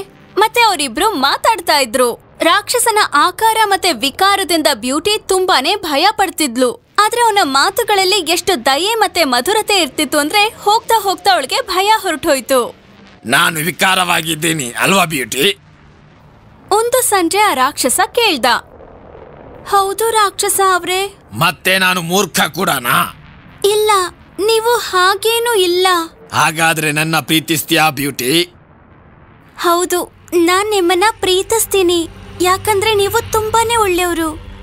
ಹಾಗಾದ್ರೆ ನನ್ನ ಮದುವೆ ಆಗ್ತೀಯಾ ಬ್ಯೂಟಿ? ಇಲ್ಲ ಇಲ್ಲ ರಾಕ್ಷಸ ಅವ್ರೆ. ರಾಕ್ಷಸಂಗೆ ಬೇಜಾರಾಯ್ತು. ಮತ್ತೆ ಬ್ಯೂಟಿನೂ ಚಿಂತೆಗೊಳಗಾದ್ಲು. ನಾನು ರಾಕ್ಷಸನ್ನ ಮದುವೆ ಆಗೋಕ್ಕಾಗಲ್ಲ ಅಂತ ತನಗ್ ತಾನೇ ಹೇಳ್ಕೊಂಡ್ಲು. ಮಾರನೇ ದಿನ ಬ್ಯೂಟಿ ಆ ಕನ್ನಡಿಲಿ ನೋಡ್ಕೊಂಡ್ಲು. ನಾನು ನನ್ ಪ್ರೀತಿಯ ಅಪ್ಪನ ಬಗ್ಗೆ ತಿಳ್ಕೊಳ್ಬೇಕು. ಹೇಳಿದ್ಲು. ತಕ್ಷಣನೇ ಕನ್ನಡಿನಲ್ಲಿ ಅವ್ರ ಅಪ್ಪನ ಒಂದು ಚಿತ್ರ ಬಂತು. ಅವರಪ್ಪ ಅನಾರೋಗ್ಯದಿಂದ ಹಾಸಿಗೆ ಮೇಲ್ ಮಲಗಿದ್ರು, ಆದ್ರೆ ನೋಡ್ಕೊಳ್ಳೋದಕ್ಕೆ ಯಾರೂ ಇರ್ಲಿಲ್ಲ. ಅವರಪ್ಪನ ಒಂಟಿತನ ಅನಾರೋಗ್ಯದ ಬಗ್ಗೆ ಯೋಚಿಸ್ತಾ ಅವಳು ಇಡೀ ದಿನ ಆಳ್ತಾನೆ ಇದ್ಲು. ಮತ್ತೆ ಪ್ರತಿ ಸಂಜೆ ಹಾಗೆ ರಾಕ್ಷಸ ಅವಳನ್ನ ಭೇಟಿ ಮಾಡಕ್ ಬಂದ. ಅವ್ನ್ ನೋಡ್ದ ಬ್ಯೂಟಿ ತುಂಬಾ ಬೇಸರದಲ್ಲಿದ್ಲು. ಯಾಕೆ? ಏನಾಯ್ತು ಬ್ಯೂಟಿ? ಅಂತ ಕೇಳ್ದ. ಬ್ಯೂಟಿ ತನ್ನ ಬೇಸರದ ಕಾರಣವನ್ನ ಹೇಳಿದ್ಲು. ಮತ್ತೆ ಮನೆಗ್ ಹೋಗೋದಕ್ಕೆ ಬಿಟ್ಟು ಬಿಡು ಅಂತ ಕೇಳ್ಕೊಂಡ್ಲು. ನೀನು ಹೋದ್ರೆ ನನಗೆ ಬೇಜಾರಾಗುತ್ತೆ ಬ್ಯೂಟಿ. ರಾಕ್ಷಸ ಹೇಳ್ದ. ಮತ್ತೆ ನೀನು ಅಳೋದು ಕೂಡ ನನಗೆ ನೋಡೋದಕ್ಕೆ ಆಗೋದಿಲ್ಲ. ರಾಕ್ಷಸ ಮುಂದೆ ಹೇಳ್ದ. ನೀನು ನಾಳೆ ನಿನ್ನ ಮನೆಗೆ ಹೋಗ್ಬೋದು. ಧನ್ಯವಾದ ರಾಕ್ಷಸ ಅವ್ರೆ. ಬ್ಯೂಟಿ ಹೇಳಿದ್ಲು. ಆದ್ರೆ ನಾನು ನಿಮ್ಗೆ ಬೇಸರ ಮಾಡೋದಿಲ್ಲ. ಒಂದ್ ವಾರದಲ್ಲಿ ನಾನು ಮತ್ತೆ ವಾಪಸ್ ಬರ್ತೀನಿ. ರಾಕ್ಷಸಂಗೆ ತುಂಬಾನೇ ಬೇಜಾರಾಯ್ತು. ಅವನ್ಗೆ ಭಯ ಆಗ್ತಾ ಇತ್ತು. ಮತ್ತೆ ಬ್ಯೂಟಿ ವಾಪಸ್ ಬರೋದಿಲ್ವೇನೋ ಅಂತ. ಈ ಉಂಗ್ರನ ತಗೋ. ಬೇಸರದಲ್ಲೇನೆ ಅವನು ಹೇಳ್ದ. ಮತ್ತೆ ನೀನು ಮರಳಿ ಬರಬೇಕು ಅಂತ ಬಯಸಿದ್ರೆ ನೀನು ಮಲಗುವ ಮುನ್ನ ಇದನ್ನ ಮೇಜಿನ ಮೇಲೆ ಇಟ್ಟು ಮಲಗು. ಮತ್ತೆ ಈಗ ಹೋಗಿ ಬಾ ನನ್ನ ಬ್ಯೂಟಿ. ಆ ದಿನ ರಾತ್ರಿ ಅವಳು ಕನ್ನಡಿ ಮುಂದೆ ನಿಂತ್ಕೊಂಡು ಹೇಳಿದ್ಲು ಮಾರನೇ ದಿನ ಬೆಳಗ್ಗೆ ಅವಳು ಅಪ್ಪನ ಮನೇಲಿ ಕಣ್ಬಿಡ್ಬೇಕು ಅಂತ. ಮತ್ತೆ ಬ್ಯೂಟಿ ಕೇಳ್ಕೊಂಡ್ ಹಾಗೇನೆ ಆಯ್ತು. ಅವಳ ಮಾರನೇ ದಿನದ ಬೆಳಕೆ ತಂದೆಯ ಮನೆಯಲ್ಲೇ ಆಗಿದ್ದು. ಅಪ್ಪ ತನ್ನ ಪ್ರೀತಿಯ ಮಗಳನ್ನ ನೋಡ್ತಿದ್ದ ಹಾಗೆ ಅವರು ಸುಧಾರಿಸೋದಕ್ಕೆ ಶುರು ಮಾಡಿದ್ರು. ಒಂದು ವಾರ ಹೇಗ್ ಕಳೀತು ಅಂತ ಬ್ಯೂಟಿಗೆ ಗೊತ್ತೇ ಆಗ್ಲಿಲ್ಲ. ಈಗ ಅಪ್ಪ ಮೊದಲ್ಗಿಂತ ಎಷ್ಟೋ ಸುಧಾರಿಸಿದ್ರು. ಆದ್ರೂ ಕೂಡ ತನ್ನ ನಿರ್ದಯಿ ಅಕ್ಕಂದ್ರನ್ನ ನಂಬಿ ಅಪ್ಪನ್ನ ಇಲ್ಲಿ ಬಿಡೋದು ಸರಿ ಅಲ್ಲ ಅಂತ ಅವಳಿಗನ್ನಿಸ್ತು. ನಾನು ಇನ್ನೂ ಒಂದ್ ವಾರ ಇಲ್ಲೇ ಉಳ್ಕೋತೀನಿ. ಬ್ಯೂಟಿ ಹೇಳಿದ್ಲು. ಇದನ್ನ ಕೇಳಿ ಅಪ್ಪ ನಗೋದಕ್ಕೆ ಶುರು ಮಾಡಿದ್ರು. ಈಗ ಕಷ್ಟಪಟ್ಟು ಒಂದ್ ಎರಡ್ ದಿನ ಕಳೆದಿತ್ತು, ಆಗ ಬ್ಯೂಟಿಗೆ ಒಂದು ಕನಸ್ ಬಂತು. ಅದರಲ್ಲಿ ರಾಕ್ಷಸ ತೋಟದಲ್ಲಿ ಬಿಳಿ ಗುಲಾಬಿ ಮಧ್ಯೆ ಹುಲ್ಲಿನ ಮೇಲೆ ಮಲ್ಕೊಂಡು ಬೇಸರದಲ್ಲಿ ಹೇಳ್ತಾ ಇದ್ದ, ಓ ಬ್ಯೂಟಿ, ನೀನು ಮರಳಿ ಬರ್ತೀನಿ ಅಂತ ಹೇಳಿದ್ದೆ. ಈಗ ನಾನು ಸಾಯ್ತಾ ಇದ್ದೀನಿ. ಈ ಕನಸು ಬ್ಯೂಟಿಗೆ ಎಚ್ಚರಗೊಳಿಸ್ತು. ಪಾಪ ರಾಕ್ಷಸ ಏನಾಗಿರ್ಬಹುದು ಅಂತ ಯೋಚನೆ ಮಾಡೋದಕ್ಕೆ ಶುರು ಮಾಡಿದ್ಲು. ಅವಳು ಹಾಸಿಗೆ ಮೇಲಿಂದ ಎದ್ದು ಆ ಮಾಯಾವಿ ಉಂಗ್ರವನ್ನ ತೆಗೆದು ಮೇಜಿನ ಮೇಲೆ ಇಟ್ಲು. ಆಮೇಲೆ ಮಲ್ಕೊಂಡ್ಬಿಟ್ಲು. ಅವಳಿಗೆ ಬೆಳಗ್ಗೆ ಎಚ್ಚರ ಆದಾಗ ಅವಳು ತನ್ನ ಅರಮನೆಯ ಕೋಣೆಯಲ್ಲಿದ್ಲು. ಬ್ಯೂಟಿಗೆ ಗೊತ್ತಿತ್ತು. ಸಂಜೆ ಆದಾಗ ರಾಕ್ಷಸ ಅವಳನ್ನ ಭೇಟಿ ಮಾಡೋದಕ್ಕೆ ಬರೋದಿಲ್ಲ ಅಂತ. ಮತ್ತೆ ಇವತ್ತಿನ ದಿನ ಕಳಿಯೋದಕ್ಕೆ ತುಂಬಾನೇ ಕಷ್ಟ ಆಗ್ತಾ ಇತ್ತು. ಹಾಗೋ ಹೀಗೋ ಸಂಜೆ ಆಗೇ ಬಿಡ್ತು. ಆದ್ರೆ ರಾಕ್ಷಸ ಬರ್ಲೇ ಇಲ್ಲ. ಪಾಪ ಬ್ಯೂಟಿಗೆ ಬೇಜಾರಾಯ್ತು. ಇದ್ದಕ್ಕಿದ್ದ ಹಾಗೆ ಅವಳಿಗೆ ಒಂದು ವಿಚಾರ ಬಂತು. ಅಕಸ್ಮಾತ್ ನಿಜ ಆಗಿದ್ರೆ ರಾಕ್ಷಸ ತೋಟದಲ್ಲಿ ಗುಲಾಬಿ ಹೂವಿನ ನಡುವೆ ಹಾಗೆ ಬಿದ್ದ್ಬಿಟ್ಟಿದ್ರೆ ಬ್ಯೂಟಿ ಕತ್ಲಲ್ಲೇ ಆ ತೋಟದ ಕಡೆ ಓಡೋದಕ್ಕೆ ಶುರು ಮಾಡಿದ್ಲು. ಓಡ್ತಾ ಓಡ್ತಾ ಆ ತೋಟದ ಹತ್ರ ಅವಳು ತಲುಪೇ ಬಿಟ್ಲು. ಅಲ್ಲಿ ಹುಲ್ಲಿನ ಮೇಲೆ ನೋಡಿದ್ರೆ ರಾಕ್ಷಸ ಅಲ್ಲೇ ಬಿದ್ದಿದ್ದ. ಬ್ಯೂಟಿ ಮೊಣಕಾಲೂರಿ ಅವನ ಹತ್ರ ಕುತ್ಕೊಂಡ್ಲು ಮತ್ತೆ ಅವನ ತಲೆ ಮೇಲೆ ಕೈ ಇಟ್ಲು ಬ್ಯೂಟಿಯ ಸ್ಪರ್ಶ ಆಗ್ತಿದ್ದ ಹಾಗೆ ರಾಕ್ಷಸ ಕಣ್ಣು ತೆಗ್ದ. ನೀನಿಲ್ದೆ ನಾನು ಬದುಕೋಕೆ ಆಗಲ್ಲ ಬ್ಯೂಟಿ. ರಾಕ್ಷಸ ಹೇಳ್ದ. ಅದಕ್ಕೆ ನಾನು ಸತ್ತು ಹೋಗ್ತೇನೆ. ಈಗ ನಿನ್ನ ಮುಖ ನೋಡಿರೋದರಿಂದ ನೆಮ್ಮದಿಯಿಂದ ಸಾಯ್ತೀನಿ. ಓಹ್ ರಾಕ್ಷಸ ಅವ್ರೆ ನೀವ್ ಸಾಯೋದನ್ನ ನಾನು ನೋಡೋಕ್ಕಾಗಲ್ಲ ಬ್ಯೂಟಿ ಹೇಳಿದ್ಲು. ನೀವು ಬದುಕ್ಲೇಬೇಕು. ನಾನ್ ನಿಮ್ಮನ್ನ ಪ್ರೀತಿಸ್ತಾ ಇದ್ದೀನಿ. ನನ್ನನ್ನ ನಂಬಿ ನೀವು ತುಂಬಾನೇ ಒಳ್ಳೆಯವರು. ಬ್ಯೂಟಿ ಈ ಮಾತ್ ಹೇಳ್ತಿದ್ದ ಹಾಗೆ ತನ್ನ ಕೈಯಿಂದ ಬಾಯನ್ನ ಮುಚ್ಕೊಂಡು ಬ್ಯೂಟಿ ಅಳೋದಕ್ಕೆ ಶುರು ಮಾಡಿದ್ಲು. ಅವಳು ಮತ್ತೆ ತಲೆ ಎತ್ತಿ ನೋಡ್ದಾಗ ರಾಕ್ಷಸ ಮಾಯ ಆಗ್ಬಿಟ್ಟಿದ್ದ. ಮತ್ತೆ ಆ ಜಾಗದಲ್ಲಿ ಒಬ್ಬ ಸುಂದರವಾದ ರಾಜ್ಕುಮಾರ ನಿಂತಿದ್ದ. ತನಗೆ ಸ್ವಾತಂತ್ರ್ಯ ಕೊಟ್ಟಿದ್ದಕ್ಕೆ ಬ್ಯೂಟಿಗೆ ಅವನು ಧನ್ಯವಾದ ಹೇಳ್ದ. ಏನ್ ನಿನ್ ಮಾತಿನ ಅರ್ಥ? ಬ್ಯೂಟಿ ಕೇಳಿದ್ಲು. ಓಹ್ ನನಗೆ ನನ್ನ ರಾಕ್ಷಸ ಬೇಕು. ನನ್ನ ಪ್ರೀತಿಯ ರಾಕ್ಷಸ ಬೇರೆ ಯಾರು ಬೇಡ. ಆಗ ರಾಕ್ಷಸ ಅರ್ಥ ಮಾಡಿಸ್ದ. ಒಬ್ಬ ಕೆಟ್ಟ ಪರಿ ನನಗೆ ಶಾಪ ಕೊಟ್ಟಿದ್ದ. ಮತ್ತೆ ನಾನು ತುಂಬಾ ಕೆಟ್ಟದಾಗಿ ಕಾಣುವಂತೆ ನನ್ನನ್ನು ಕೆಟ್ಟದಾಗಿ ಮಾಡಿದ್ದ. ಅಂತ ಅವನು ಹೇಳ್ದ. ನನ್ನನ್ನು ಮದುವೆಯಾಗಲು ಇಚ್ಛಿಸುವ ಸುಂದರವಾದ ಹುಡುಗಿ ಮಾತ್ರ ಇದರಿಂದ ಬಿಡುಗಡೆಗೊಳಿಸಲು ಸಾಧ್ಯ. ಮತ್ತೆ ನೀನು ಸುಂದರವಾದ ಹುಡುಗಿ. ಬ್ಯೂಟಿ. ರಾಜ್ಕುಮಾರ ಎಲ್ಲ ವಿಷಯ ಹೇಳ್ದ. ಆಮೇಲೆ ರಾಜ್ಕುಮಾರ ಬ್ಯೂಟಿಗೆ ಮುತ್ ಕೊಟ್ಟ. ಮತ್ತೆ ಅವಳನ್ನ ಕರ್ಕೊಂಡು ಅರಮನೆ ಕಡೆ ನಡೆದ. ಆಗ್ಲೇ ಒಬ್ಬ ಒಳ್ಳೆ ಫೇರಿ ಬ್ಯೂಟಿಯ ತಂದೆನ ಕರ್ಕೊಂಡು ಅಲ್ಲಿ ಪ್ರಕಟಳಾದ್ಲು.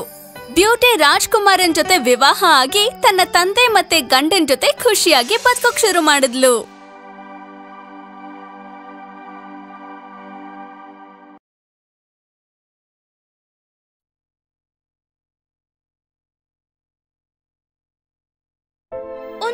ಒಬ್ಬ ವ್ಯಾಪಾರಿ ಇದ್ದ. ಅವನ್ಗೆ ಮೂರ್ ಮಕ್ಳಿದ್ರು. ದೊಡ್ಡ ಮಗ ವಿದೇಶದಲ್ಲಿ ಕೆಲಸ ಮಾಡ್ತೀನಿ ಅಂತ ನಿರ್ಧಾರ ಮಾಡಿದ್ದ. ಆಗ ವ್ಯಾಪಾರಿ ಕೇಳ್ದ, ಅಲ್ಲ ಮಗ, ನಮ್ಗಿಲ್ಲೇನು ಕೊರತೆ ಇಲ್ಲ. ಯಾಕ್ ವಿದೇಶಕ್ ಹೋಗ್ತೀಯಾ? ಆದ್ರೆ ಮಗ ಆ ಮಾತ್ ಕೇಳಲಿಲ್ಲ. ತಾನು ಏನ್ ಬೇಕು ಎಲ್ಲ ತಗೊಂಡು ವಿದೇಶಕ್ ಹೋಗೋಕೆ ಶುರು ಮಾಡ್ದ. ಕೆಲವು ದಿನಗಳ ನಂತರ ಅವನು ಒಂದು ನಿಲ್ದಾಣದಲ್ಲಿ ನಿಂತ, ಅಲ್ಲಿ ಒಂದು ಬೋರ್ಡ್ ನೋಡ್ದ. ಅದ್ರಲ್ಲಿ ಯಾರು ಯುವರಾಣಿನ ವಾಪಸ್ ಕರ್ಕೊಂಡ್ ಬರ್ತಾರೋ ಅವ್ರಿಗೆ ಅರ್ಧ ರಾಜ್ಯ ಸಿಗುತ್ತೆ ಅಂತ ಬರ್ದಿತ್ತು. ಯಾಕ್ ಪ್ರಯತ್ನ ಪಡಬಾರ್ದು ಅಂತ ಅನ್ನಿಸ್ತು. ಅವನು ರಾಜನ್ನ ಭೇಟಿ ಮಾಡಕ್ ಹೋದ. ರಾಜ ಹೇಳ್ದ, ನೀನು ಎಂಟು ದಿನದಲ್ಲಿ ಯುವರಾಣಿನ ಕರ್ಕೊಂಡ್ ಬರ್ದೆ ಹೋದ್ರೆ ನಿನ್ನನ್ನ ಕೊಲ್ಲಲಾಗತ್ತೆ. ಇದನ್ನ ನೆನ್ಪಿಟ್ಕೋ. ಆದ್ರೂ ಸಹ ಅವನು ಇದಕ್ಕೆ ಒಪ್ಕೊಳ್ತಾನೆ. ಈಗ ಅವನು ಎಲ್ಲಾ ಕಡೆ ಯುವರಾಣಿನ ಹುಡುಕ್ತಾನೆ. ಆದ್ರೆ ಪ್ರತಿ ಸಲ ಸೋಲ್ತಾ ಇದ್ದಾನೆ. ಎಂಟು ದಿನದ ನಂತರ ಅವನನ್ನ ಕೊಲ್ಲಲಾಯ್ತು. ಕೆಲವು ದಿನಗಳ ನಂತರ ಮತ್ತೊಬ್ಬ ಮಗ ಕೂಡ ವಿದೇಶಕ್ಕೆ ಹೋದ. ಆದ್ರೆ ಅವನು ಸಹ ತನ್ನ ಅಣ್ಣನಂತೆಯೇ ಆಗ್ಬಿಟ್ಟ. ಸಾಯಿಸ್ಬಿಟ್ರು. ಬಹಳ ದಿನಗಳ ನಂತರ ತನ್ನ ಅಣ್ಣಂದಿರು ಬರ್ದೇ ಇದ್ದಿದ್ರಿಂದ ಬೇಜಾರಾಗಿ ಚಿಕ್ಕವನು ಕೂಡ ವಿದೇಶಕ್ಕೆ ಹೊರಟ. ಎರಡು ದಿನಗಳ ನಂತರ ತನ್ನ ಹಡಗು ಸಹ ಅದೇ ನಿಲ್ದಾಣದಲ್ಲಿ ನಿಂತಿತ್ತು. ಅವನು ಅನ್ಕೊಂಡ, ತನ್ನ ಅಣ್ಣಂದಿರು ಸಹ ಯುವರಾಣಿನ ಹುಡುಕಕ್ ಹೋಗಿರ್ಬೋದು ಅಂತ ತಾನು ಪ್ರಯತ್ನ ಪಡೋಣ ಅನ್ಕೊಂಡ. ಆದ್ರೆ ಅವನು ತುಂಬಾನೇ ಬುದ್ಧಿವಂತ ಆಗಿದ್ದ. ಅವನು ಆ ಮಾತನ್ನೆಲ್ಲ ಒಪ್ಕೊಂಡ. ಅವನು ಅದೇ ಜಾಗದಲ್ಲಿ ಇದ್ಕೊಂಡು ಮಾಲಿ ಜೊತೆ ಗೆಳೆತನ ಮಾಡ್ಕೊಂಡ. ಅವನ್ ತಾಯಿನ ಭೇಟಿ ಮಾಡ್ದ. ತಾಯಿ ಅವ್ನ್ ಹೇಳಿದ ಕಥೆನೆಲ್ಲ ಕೇಳಿದ್ಲು, ಮತ್ತೆ ಹೇಳಿದ್ಲು, ನೀನು ದುಡ್ಡು ಖರ್ಚು ಮಾಡೋಕೆ ತಯಾರಿದ್ರೆ ನಾನ್ ನಿನಗಿದಕ್ಕೆ ಉಪಾಯ ಹೇಳ್ತೀನಿ. ತಾಯಿಗೆ ಯುವರಾಣಿ ಬಗ್ಗೆ ಎಲ್ಲ ವಿಷಯ ಗೊತ್ತಿತ್ತು. ಚಿಕ್ಕ ಮಗ ಸರಿ ಅಂತ ಒಪ್ಕೊಂಡ. ಹಣ ಖರ್ಚು ಮಾಡೋಕೆ ತಯಾರಿದ್ದೀನಿ ಅಂದ ಚಿನ್ನದ ಸಿಂಹವನ್ನ ತಗೊಂಡ್ ಬಂದು ಅದರಲ್ಲಿ ಎರಡು ಹೋಲ್ ಮಾಡಿ ಒಳಗಡೆ ನೀನ್ ಕುತ್ಕೊಳ್ಬೇಕು. ಒಂದು ವಾದ್ಯವನ್ನ ಅದರಲ್ಲಿ ನುಡಿಸ್ಬೇಕು. ಎಲ್ಲರೂ ಇದು ಮ್ಯಾಜಿಕಲ್ ಸಿಂಹ ಅಂತ ಅನ್ಕೊಳ್ತಾರೆ. ಚಿಕ್ಕ ಮಗ ಹೇಳ್ದಂತೆನೆ ಮಾಡ್ತಾನೆ. ಆ ಸಿಂಹವನ್ನ ತಗೊಂಡು ಅರಮನೆಗೆ ಹೋಗ್ತಾಳೆ. ರಾಜ ಅದನ್ನ ನೋಡಿ ತುಂಬಾನೇ ಖುಷಿ ಪಡ್ತಾನೆ. ಅವನು ಸಿಂಹನ ಅರಮನೆಯಲ್ಲೇ ಬಿಡೋದಕ್ಕೆ ಹೇಳ್ತಾನೆ. ಅವಳು ಹೇಳ್ತಾಳೆ, ಇಲ್ಲ ಇಲ್ಲ ಇಲ್ಲ, ನಾನ್ ಹಾಗ್ ಮಾಡೋಕ್ಕಾಗಲ್ಲ. ನನ್ ಬಾಸ್ ನನಗೆ ಬೈತಾರೆ. ನಾನ್ ಇದನ್ ನಿಮ್ಗೆ ತೋರ್ಸೋದಕ್ಕೆ ಅಂತ ಬಂದೆ ಅಷ್ಟೇ. ಆದ್ರೆ ರಾಜ ಬೇಡ್ಕೊಂಡಿದ್ರಿಂದ ಆಯ್ತು ಅಂತ ಒಪ್ಕೊಳ್ತಾಳೆ. ಅವಳು ಹೇಳ್ತಾಳೆ, ಇವತ್ ರಾತ್ರಿ ಮಾತ್ರ ನಾನಿದನ್ನ ಇಲ್ಲಿ ಬಿಡ್ತೀನಿ.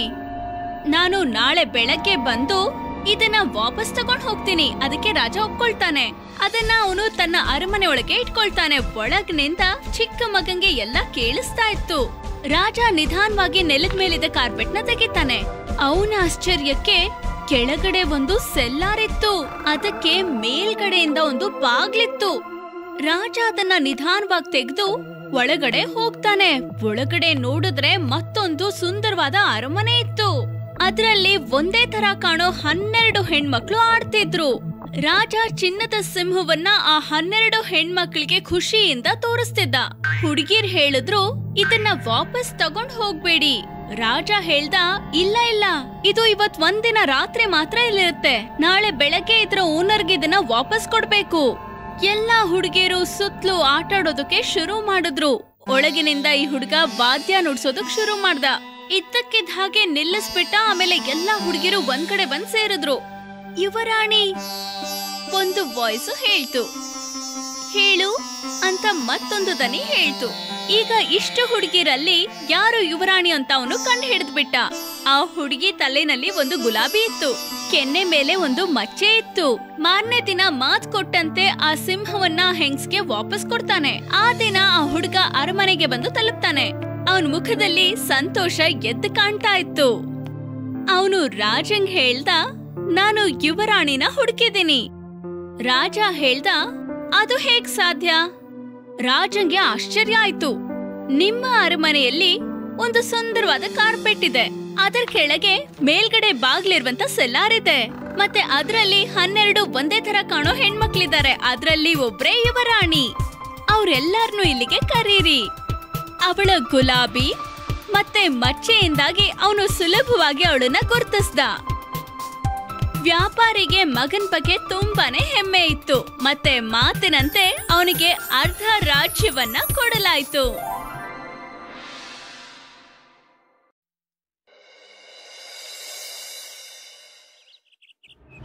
ಒಂದು ದೂರದ ಊರಿನಲ್ಲಿ ಒಬ್ಬ ಮುದುಕಿ ತನ್ನ ಮಕ್ಕಳ ಜೊತೆ ವಾಸಿಸುತ್ತಿದ್ದಳು. ಅವರು ತುಂಬಾ ಪರೋಪಕಾರಿಗಳಾಗಿದ್ದರು. ಮಕ್ಕಳಿಗೆ ಅವರ ಅಮ್ಮ ಮಾಡುವ ಅಡಿಗೆ ಎಂದರೆ ತುಂಬ ಇಷ್ಟ. ಮತ್ತು ಮಕ್ಕಳು ತಾಯಿಗೆ ತರತರದ ಅಡಿಗೆ ಮಾಡಲು ಹೇಳುತ್ತಿದ್ದರು. ಒಂದು ದಿನ ಅವಳು ದೊಡ್ಡದಾದ ಪ್ಯಾನ್ ಕೇಕ್ ಮಾಡಲು ಮಕ್ಕಳ ಸಹಾಯವನ್ನು ಕೇಳಿದಳು. ಆ ಮೂವರು ತಾಯಿಗೆ ಸಹಾಯ ಮಾಡಲು ಉತ್ಸಾಹದಿಂದ ತಯಾರಾದರು. ಮೂವರು ಆ ದೊಡ್ಡದಾದ ಪ್ಯಾನ್ ಕೇಕ್ ಮಾಡುವ ತಯಾರಿನಲ್ಲಿ ಬ್ಯುಸಿಯಾದರು. ಅದರಲ್ಲಿ ಇಬ್ಬರು ಮೊಟ್ಟೆಗಳನ್ನು ಒಡೆದರು. ಉಳಿದವರು ಹಿಟ್ಟನ್ನು, ಸಕ್ಕರೆ, ಹಾಲು, ಅಳತೆ ಮಾಡಿದರು. ಅವರು ಪ್ಯಾನ್ ಕೇಕ್ ತಯಾರಿ ಮಾಡುವ ಎಲ್ಲ ಸಾಮಾನುಗಳನ್ನು ಕಲಸಿ ಹಿಟ್ಟನ್ನು ತಯಾರಿಸಿದರು. ಹಿಟ್ಟನ್ನು ಕಲಿಸಿದ ಮೇಲೆ ತಯಾರಿಯಾದ ಹಿಟ್ಟನ್ನು ಬೇಯಿಸುವ ದೊಡ್ಡ ಪಾತ್ರೆಯಲ್ಲಿ ಹಾಕಿ ಒಲೆಯ ಮೇಲೆ ಇಟ್ಟರು. ಸ್ವಲ್ಪ ಸಮಯದ ನಂತರ ಆ ಮುದುಕಿ ದೊಡ್ಡ ಮಗನಿಗೆ ಪ್ಯಾನ್ ಕೇಕನ್ನು ಮೇಲಕ್ಕೆ ಕೆಳಕ್ಕೆ ತಿರುವಿ ಹಾಕು ಎಂದಳು. ಅದಕ್ಕೆ ದೊಡ್ಡ ಮಗ ಪ್ಯಾನ್ ಕೇಕನ್ನು ಮೇಲೆಸೆದನು. ಆಗ ಮೇಲಕ್ಕೆ ಎಸೆದ ಮೇಲೆ ಅದು ಪ್ಯಾನ್ನಲ್ಲಿ ಬೀಳಲಾರದೆ ಬೆಂಚಿನ ಮೇಲೆ ಬಿದ್ದಿತು ಬಿದ್ದ ತಕ್ಷಣ ಪ್ಯಾನ್ ಕೇಕ್ ಮೇಲೆ ಎದ್ದು ಓಡತೊಡಗಿತು. ಮಕ್ಕಳು ಸಿಹಿಯಾದ ರುಚಿಯಾದ ಪ್ಯಾನ್ ಕೇಕ್ ಓಡುವುದನ್ನು ನೋಡಿ ಆಶ್ಚರ್ಯ ಹೋದರು. ಮೂವರು ಮಕ್ಕಳು ಆ ಪ್ಯಾನ್ ಅನ್ನು ಹಿಡಿದುಕೊಳ್ಳಲು ಹಿಂದೆ ಓಡತೊಡಗಿದರು. ನಿಲ್ಲು ಪ್ಯಾನ್ ಕೇಕ್ ನೀನು ನಮ್ಮ ಊಟ. ನಾವು ತುಂಬಾ ಹಸಿದಿದ್ದೀವಿ. ನಿನ್ನ ನಾವು ತಿನ್ನಬೇಕು. ನಾನು ನಿಮಗಿಂತ ವೇಗವಾಗಿದ್ದೀನಿ. ಹಿಡೀರಿ ನೋಡೋಣ. ಪ್ಯಾನ್ ಕೇಕ್ ದಾರಿಯಲ್ಲಿ ಹೋಗುವಾಗ ಒಬ್ಬ ಮುದುಕ ನೋಡುತ್ತಾನೆ. ಅವನು ಹೀಗೆ ಹೇಳುತ್ತಾನೆ. ಹೇ ಪ್ಯಾನ್ ಕೇಕ್ ಬೇಗ ಓಡ್ಬೇಡ. ನಾನು ನಿನ್ನ ತಿನ್ಬೇಕು. ಆದರೆ ಪ್ಯಾನ್ ಕೇಕ್ ಹೇಳಿತು. ನಾನು ಮೂರು ಮಕ್ಳಿಗೋಸ್ಕರನೂ ನಿಲ್ಲಿಲ್ಲ ಆದರೆ ನಿನಗೂ ನಿಲ್ಲಲ್ಲ. ನನ್ನ ಹಿಡಿ ನೋಡೋಣ? ಅಂತ ಉರುಳುತ್ತಾ ಹೋಯಿತು. ಸ್ವಲ್ಪ ದೂರದಲ್ಲಿ ತೋಟದ ಗೋಡೆಯ ಮೇಲೆ ಕುಳಿತ ಬೆಕ್ಕು ಕೂಡ ನೋಡಿತು. ನೀನು ನನ್ನಿಂದ ತಪ್ಪಿಸಿಕೊಳ್ಳಲಾರೆ ನೀನು ಸಿಕ್ಕ ತಕ್ಷಣ ನಿನ್ನನ್ನು ಚಪ್ಪರಿಸಿಕೊಂಡು ತಿನ್ನುತ್ತೇನೆ ಅಂದ ತಕ್ಷಣ ಗೋಡೆಯಿಂದ ಎಗಿರಿತು. ಆದರೆ ಪ್ಯಾನ್ ಕೇಕ್ ಹೀಗೆ ಹೇಳಿತು. ನಾನು ಮೂರು ಮಕ್ಕಳು ಮತ್ತೆ ಮುದುಕನಿಂದನೂ ತಪ್ಪಿಸ್ಕೊಂಡೆ. ನಿನ್ನ ಹತ್ರದಿಂದನೂ ತಪ್ಪಿಸ್ಕೊಂತೀನಿ. ಬೇಕಾದ್ರೆ ಹಿಡ್ಕೋ. ಸ್ವಲ್ಪ ದೂರದಲ್ಲಿರುವ ಮನೆಯನ್ನು ದಾಟುತ್ತಿರುವಾಗ ಬಾಗಿಲ ಮೇಲೆ ಕುಳಿತುಕೊಂಡ ಕೋಳಿ ಪ್ಯಾನ್ಕೇಕ್ ಅನ್ನು ನೋಡಿ ಕಿರ್ಚುತ್ತದೆ. ನಿಲ್ಲೋ. ನಿನ್ನ ತಿನ್ನದೆ ಇರ್ಲಾರೆ. ನೀನು ತುಂಬಾ ರುಚಿಕರವಾಗಿದೀಯಾ ಪ್ಯಾನ್ಕೇಕ್ ಉರುಳುತ್ತಾ ಹೀಗೆ ಹೇಳುತ್ತದೆ. ಆಗಲ್ಲ. ನನ್ನ ನೀವು ತಿನ್ನಕ್ಕಾಗಲ್ಲ. ನಾನು ನಿಮ್ಮಿಂದನೂ ತಪ್ಪಿಸ್ಕೊಂತೀನಿ. ನಾನು ಮೂರು ಮಕ್ಕಳಿಂದ. ಆಮೇಲೆ ಆ ಮುದ್ಕಿನಿಂದ ಆಮೇಲೆ ಬೆಕ್ಕು ಕೂಡ ನನ್ನ ಹಿಡಿಯೋಕ್ಕಾಗಿಲ್ಲ. ನಾನು ನಿಮಗಿಂತ ತುಂಬ ಬೇಗ ಬೇಕಾದರೆ ಹಿಡ್ಕೋ. ಆದರೆ ಆ ಕೋಳಿ ಕೇಳಿಸಿಕೊಳ್ಳದೆ ಪ್ಯಾನ್ ಕೇಕ್ ಹಿಂದೆ ಓಡತೊಡಗಿತು. ಪ್ಯಾನ್ ಕೇಕ್ ಕೆರೆ ದಾಟುವಾಗ ಅದರಲ್ಲಿರುವ ಬಾತುಕೋಳಿ ನೋಡುತ್ತದೆ. ಬಾತುಕೋಳಿ ಕೂಡ ಪ್ಯಾನ್ ಕೇಕ್ ಅನ್ನು ತಿನ್ನಬೇಕೆಂದುಕೊಳ್ಳುತ್ತದೆ. ಅದಕ್ಕೆ ಪ್ಯಾನ್ ಕೇಕ್ ಹಿಂದೆ ಕಿರ್ಚುತ್ತಾ ಹೀಗೆ ಹೇಳುತ್ತದೆ ನಿಲ್ಲೋ. ನಾನು ತುಂಬ ಹಸಿದಿದ್ದೀನಿ. ನೀನ್ ತುಂಬಾ ಗಮಗಮ ಅಂತಿದ್ದೀಯ? ನಾನು ನಿನ್ನ ತಿನ್ಬೇಕು. ನೀನ್ ನನ್ನಿಂದ ತಪ್ಪಿಸ್ಕೊಳಕ್ಕಾಗಲ್ಲ ಎಂದು ಬಾತುಕೋಳಿ ಹೇಳಿತು. ಪ್ಯಾನ್ ಕೇಕ್ ಹೀಗೆ ಹೇಳುತ್ತದೆ. ನನ್ನ ನೀವ್ಯಾರೋ ತಿನ್ನಕ್ಕಾಗಲ್ಲ. ನಾನು ಮೊದಲು ಮಕ್ಕಳಿಂದನೂ ತಪ್ಪಿಸ್ಕೊಂಡೆ ಆಮೇಲೆ ಮುದುಕನಿಂದನೂ ತಪ್ಪಿಸ್ಕೊಂಡೆ ಬೆಕ್ಕು ಮತ್ತೆ ಕೋಳಿನೂ ಹಿಡ್ಕೊಳಕ್ ನೋಡಿದ್ರು. ಇವಾಗ ನಾನು ನಿನ್ನಿಂದನೂ ತಪ್ಪಿಸ್ಕೊಂತೀನಿ ಬೇಕಾದ್ರೆ ಹಿಡ್ಕೋ. ಆದರೆ ಬಾತುಕೋಳಿ ಮೆಲ್ಲಗೆ ನಡೆಯುತ್ತದೆ. ಹತ್ತಿರ ತೋಟದಲ್ಲಿ, ಹಸಿರು ಬಯಲಿನಲ್ಲಿ ಹಸು ಕೂಡ ಹುರುಳಿಕೊಂಡು ಹೋಗುತ್ತಿರುವ ಪ್ಯಾನ್ ಕೇಕ್ ಅನ್ನು ನೋಡಿ ಕೂಗುತ್ತದೆ. ನಿಂತುಕೋ, ನೀನು ಅಲ್ಲೇ ನಿಂತುಕೋ, ನೀನು ತುಂಬಾ ಚೆನ್ನಾಗಿದ್ದೀಯಾ. ನಿಂತುಕೋ, ನಿನ್ನನ್ನು ತಿನ್ನಬೇಕು. ಆದರೆ ಪ್ಯಾನ್ ಕೇಕ್ ದೊಡ್ಡದಾಗಿ ನಕ್ಕು, ತುಂಬಾ ವೇಗವಾಗಿ ಓಡುತ್ತಾ ಹೀಗೆ ಹೇಳುತ್ತದೆ. ಕ್ಷಮಿಸ್ಬಿಡಿ ಮೇಡಮ್ ಇದಕ್ಕಿಂತ ಮುಂಚೆ ಮೂರು ಮಕ್ಕಳು ಮುದುಕ, ಬೆಕ್ಕು ಕೋಳಿ ಮತ್ತೆ ಕೆರೆಯಲ್ಲಿದ್ದ ಬಾತ್ ಕೂಡ ನನ್ನ ತಿನ್ಬೇಕು ಅಂದ್ಕೊಂಡ್ರು ಆದರೆ ತಪ್ಪಿಸ್ಕೊಂಬಂದೆ. ಬೇಕಾದರೆ ನೀವೆಲ್ಲ ಸೇರಿ ಹಿಡ್ಕೊಳ್ಳಿ. ಆದರೆ ಹಸು ಕೂಡ ಪ್ಯಾನ್ ಕೇಕ್ ಹಿಂದೆ ಬೀಳುತ್ತದೆ.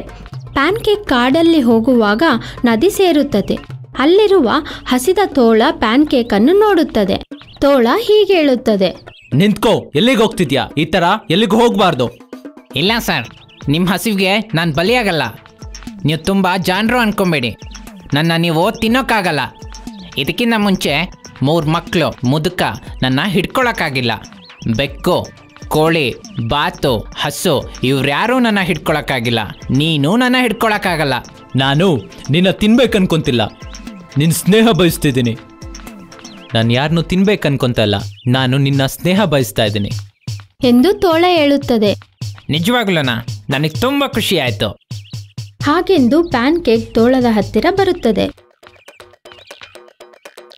ನದಿ ದಾಟ್ಬೇಕು ಅನ್ಕೊಂತಿದ್ದೀನಿ. ನನಗೆ ಈಜ್ ಬರಲ್ಲ.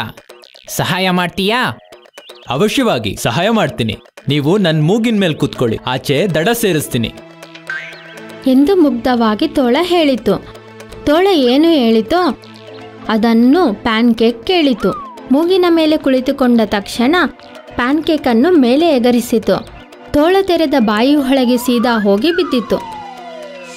ತೋಳ ಅದನ್ನು ಅಗಿದು ನುಂಗಿತು ಮತ್ತು ತುಟಿಗೆ ಹತ್ತಿರುವುದನ್ನು ನೆಕ್ಕಿ ತಿನ್ನತೊಡಗಿತು. ಇಷ್ಟರೊಳಗೆ ಹಸು ನದಿಯ ಹತ್ತಿರ ಬಂದಿತು. ಹಸುವಿನ ಹಿಂದೆ ಬಾತುಕೋಳಿ ಕೂಡ ಬಂದಿತು. ಅದರ ಜೊತೆ ಬೆಕ್ಕು ಕೋಳಿ ಕೂಡ ಬಂದವು. ಆಮೇಲೆ ಮುದುಕ ಆ ಮೂರು ಮಕ್ಕಳು ಕೂಡ ಸೇರಿಕೊಂಡರು?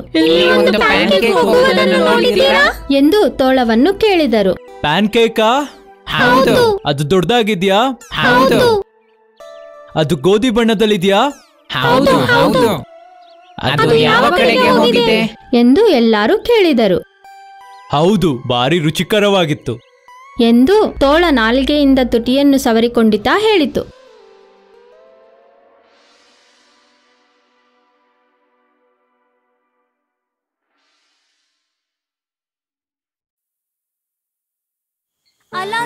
ಅವನ ದೀಪ.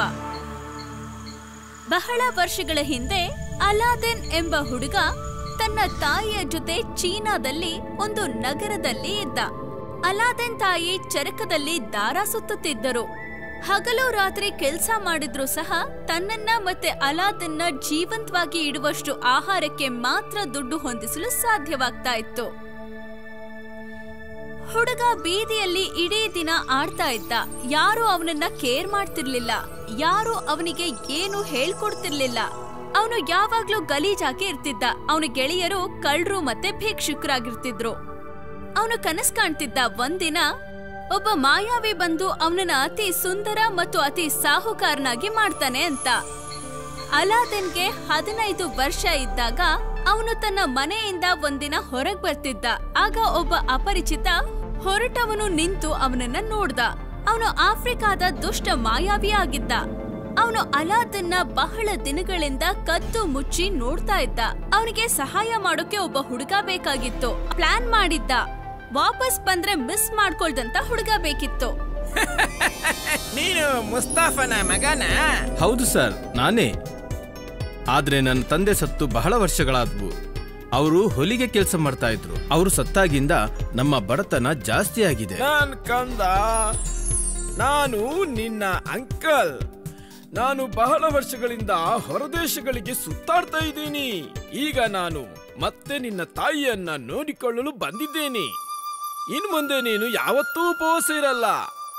ಅವನು ಚಿನ್ನದ ನಾಣ್ಯಗಳನ್ನ ಹುಡುಗನ ಕೈಗೆ ಕೊಟ್ಟು ಪಾನೀಯ ಮತ್ತು ಆಹಾರವನ್ನ ತಾನು ಬಂದ ಸಂಭ್ರಮಕ್ಕೆ ಖರೀದಿಸಲು ಹೇಳ್ತಾನೆ. ಅವನು ಅಲಾದನ್ ತಾಯಿಗೆ ತನ್ನ ಮಗನಿಗೆ ತನ್ನದೇ ಆದ ಅಂಗಡಿಯನ್ನ ಮಾಡಿ ಕೊಡೋದಾಗಿ ಮಾತ್ ಕೊಡ್ತಾನೆ. ಅವನು ಅಲಾದನ್ಗೆ ಹೊಸ ಬಟ್ಟೆ ತಂದ್ಕೊಟ್ಟ ಮತ್ತೆ ತನ್ನ ಜೊತೆ ನಗರದ ಜಾಗಗಳನ್ನ ನೋಡಲು ಕರೆದ. ಅವರು ದೊಡ್ಡ ದೊಡ್ಡ ಅಂಗಡಿಗಳಿಗೆ ಭೇಟಿ ನೀಡಿದ್ರು, ಮತ್ತೆ ಸುಲ್ತಾನರ ಅರಮನೆ ನೋಡಿ ಬೆರಗಾದ್ರು. ಕಡೆಗೆ ಸೂರ್ಯ ನೆತ್ತಿಗೆ ಬಂದಾಗ ಅವ್ರಿಗೆ ಸುತ್ತಾಡಿ ತುಂಬಾನೇ ಸುಸ್ತಾಗಿತ್ತು. ಅಲಾದನ್ನ ಅವನು ನೆರಳಿನಲ್ಲಿ ತೋಟಕ್ಕೆ ಕರೆದೊಯ್ದ. ಅಲ್ಲಿ ಹೂಗಳು ತುಂಬಿದ್ದವು. ಮಾಯಾವಿ ಅಲಾತನ್ನ ದೊಡ್ಡ ಬಂಡೆಗೆ ಕರೆದೊಯ್ದ. ಅಲ್ಲಿ ಬೆಂಕಿ ಹತ್ತಿಸಲು ಕಟ್ಟಿಗೆ ತರಲು ಹೇಳಿದ. ಅಲ್ಲಿ ಬೆಂಕಿ ಹತ್ತಿಸಿ ಆ ಬೆಂಕಿಗೆ ಕೆಲವು ಹನಿ ಎಣ್ಣೆ ಹಾಕಿದ್ರು. ಅಲ್ಲಿ ಹಾವಿನ ಆಕಾರದ ಹೊಗೆ ಹೊರಗೆ ಬಂತು. ಮಾಯಾವಿ ವಿಚಿತ್ರವಾದ ಪದಗಳನ್ನ ಹೇಳ್ದ. ತಕ್ಷಣ ಕಂಚಿನ ಉಂಗುರ ಬಂಡೆಯಿಂದ ಹೊರಗೆ ಬಂತು. ಅಲಾದೀನ್. ಇಡೀ ಜಗತ್ತಿನಲ್ಲಿ ನೀನು ಒಬ್ನೇ.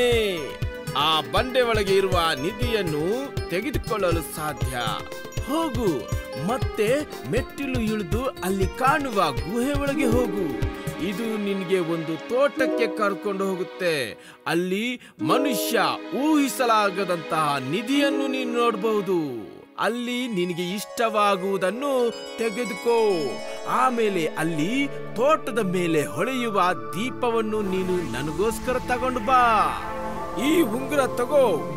ಈ ಉಂಗುರ ತಗೋ ಕಂದ, ನಿನ್ ಬೆರಳಿಗೆ ಹಾಕೋ. ಅದು ನಿನ್ನನ್ನ ಅಪಾಯದಿಂದ ಕಾಪಾಡುತ್ತೆ. ಅಲಾದಿನ್ ಬಂಡೆಯನ್ನ ಸರಿಸ್ದ, ತನ್ನ ಕಂಚಿನ ಉಂಗುರದಿಂದ, ಮತ್ತೆ ಗುಹೆ ಒಳಗೆ ಇಳಿದ. ಅಲ್ಲಿ ಇದ್ದಂತಹ ನಿಧಿಯನ್ನು ಕಂಡು ಹುಡುಗ ಬೆರಗಾಗಿ ನಿಂತ. ಅದು ಜಗತ್ತಿನಲ್ಲಿ ಬೇರೆ ಎಲ್ಲದಕ್ಕಿಂತ ಅದ್ಭುತವಾಗಿತ್ತು. ಅವನು ಹಿಂದೆ ಎಂದೂ ಒಡವೆ ನೋಡಿಲ್ಲ. ಅವನು ಬಣ್ಣದ ಕಾಜು ಅಂತ ತಿಳಿದಿದ್ದ. ಆದ್ರೆ ಅವು ಸುಂದರವಾಗಿದ್ವು. ಹಾಗಾಗಿ ಎಷ್ಟು ಸಾಧ್ಯವೋ ಅಷ್ಟು ಎತ್ಕೊಂಡ. ಆಮೇಲೆ ಅವನಿಗೆ ದೀಪ ಕಾಣಿಸ್ತು. ಅದನ್ನು ಹುಷಾರಾಗಿ ತನ್ನ ಬಟ್ಟೆಗೆ ಕಟ್ಕೊಂಡು ಹೊರಗೆ ಹೊರಡುವ ಮುನ್ನ ಅಲ್ಲಿ ಮಾಯಾವಿ ತಾಳ್ಮೆ ಇಲ್ಲದೆ ಕಾಯ್ತಾ ಇದ್ದ. ಅಲಾದೀನ್, ನನಗೆ ಆ ದೀಪ ಕೊಡು ಮೊದ್ಲು. ಆಮೇಲೆ ನಾನು ನಿನ್ಗೆ ಸಹಾಯ ಮಾಡ್ತೀನಿ. ಇಲ್ಲ, ನಾನು ಹೊರಗ್ ಬಂದ್ಮೇಲೆನೆ ನಾನು ನಿಮ್ಗೆ ಅದನ್ನ ಕೊಡೋದು. ಮೊದಲು ಬರೋಕೆ ಸೈ ಮಾಡಿ. ಹೀಗೆ ಬಹಳ ಹೊತ್ತು ವಾದ ನಡೆಯಿತು ಕಡೆಗೆ ಮಾಯಾವಿ ಬಂಡೆಯನ್ನು ಕಷ್ಟಪಟ್ಟು ತಳ್ಳಿ ಅದನ್ನು ಮುಚ್ಚಿ ಅಲ್ಲಿಂದ ಮಾಯ ಆಗ್ಬಿಟ್ಟ. ಅಲಾದನ್ಗೆ ಎಷ್ಟು ಖುಷಿ ಇತ್ತು ಅಂದ್ರೆ ಹೆದ್ರೋದನ್ನೇ ಮರ್ತ್ ಹೋಗಿದ್ದ. ಈಗ ಕತ್ತಲೆಯ ಗುಹೆಯಲ್ಲಿ ಸಿಲುಕಿಕೊಂಡಿದ್ದ. ಈಗ ಅವನು ಏನ್ ಮಾಡೋದು ಗೊತ್ತಾಗದೆ ಕೈ ಜೋಡಿಸಿ ಪ್ರಾರ್ಥಿಸಲು ಕುಳಿತ. ಹೀಗೆ ಮಾಡುವಾಗ ಮಾಯಾವಿ ಕೊಟ್ಟ ಉಂಗುರವನ್ನು ಅವನು ಗೊತ್ತಾಗದೆ ಉಜ್ಜದ. ತಕ್ಷಣ ದೊಡ್ಡ ಜೀನಿ ಅವನ ಮುಂದೆ ಬಂದು ನಿಂತ. ಎಷ್ಟು ದೊಡ್ಡದಾಗಿದ್ದ ಅಂದ್ರೆ ಇಡೀ ಗುಹೆ ತುಂಬಿಕೊಳ್ಳುವಷ್ಟು ದೊಡ್ಡದಾಗಿದ್ದ. ನಾನು ಉಂಗುರದ ಗುಲಾಮ.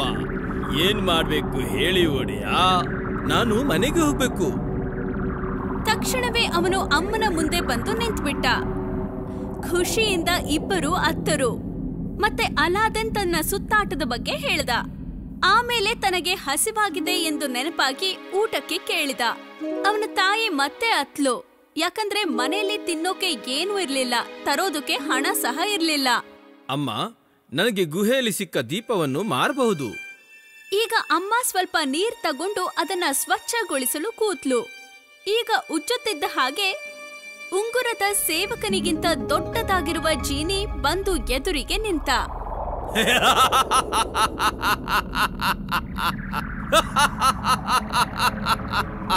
ನಿಮ್ಮ ಆದೇಶ ಏನು ದೊರೆ ಊಟ ಬೇಕು ದಯವಿಟ್ಟು.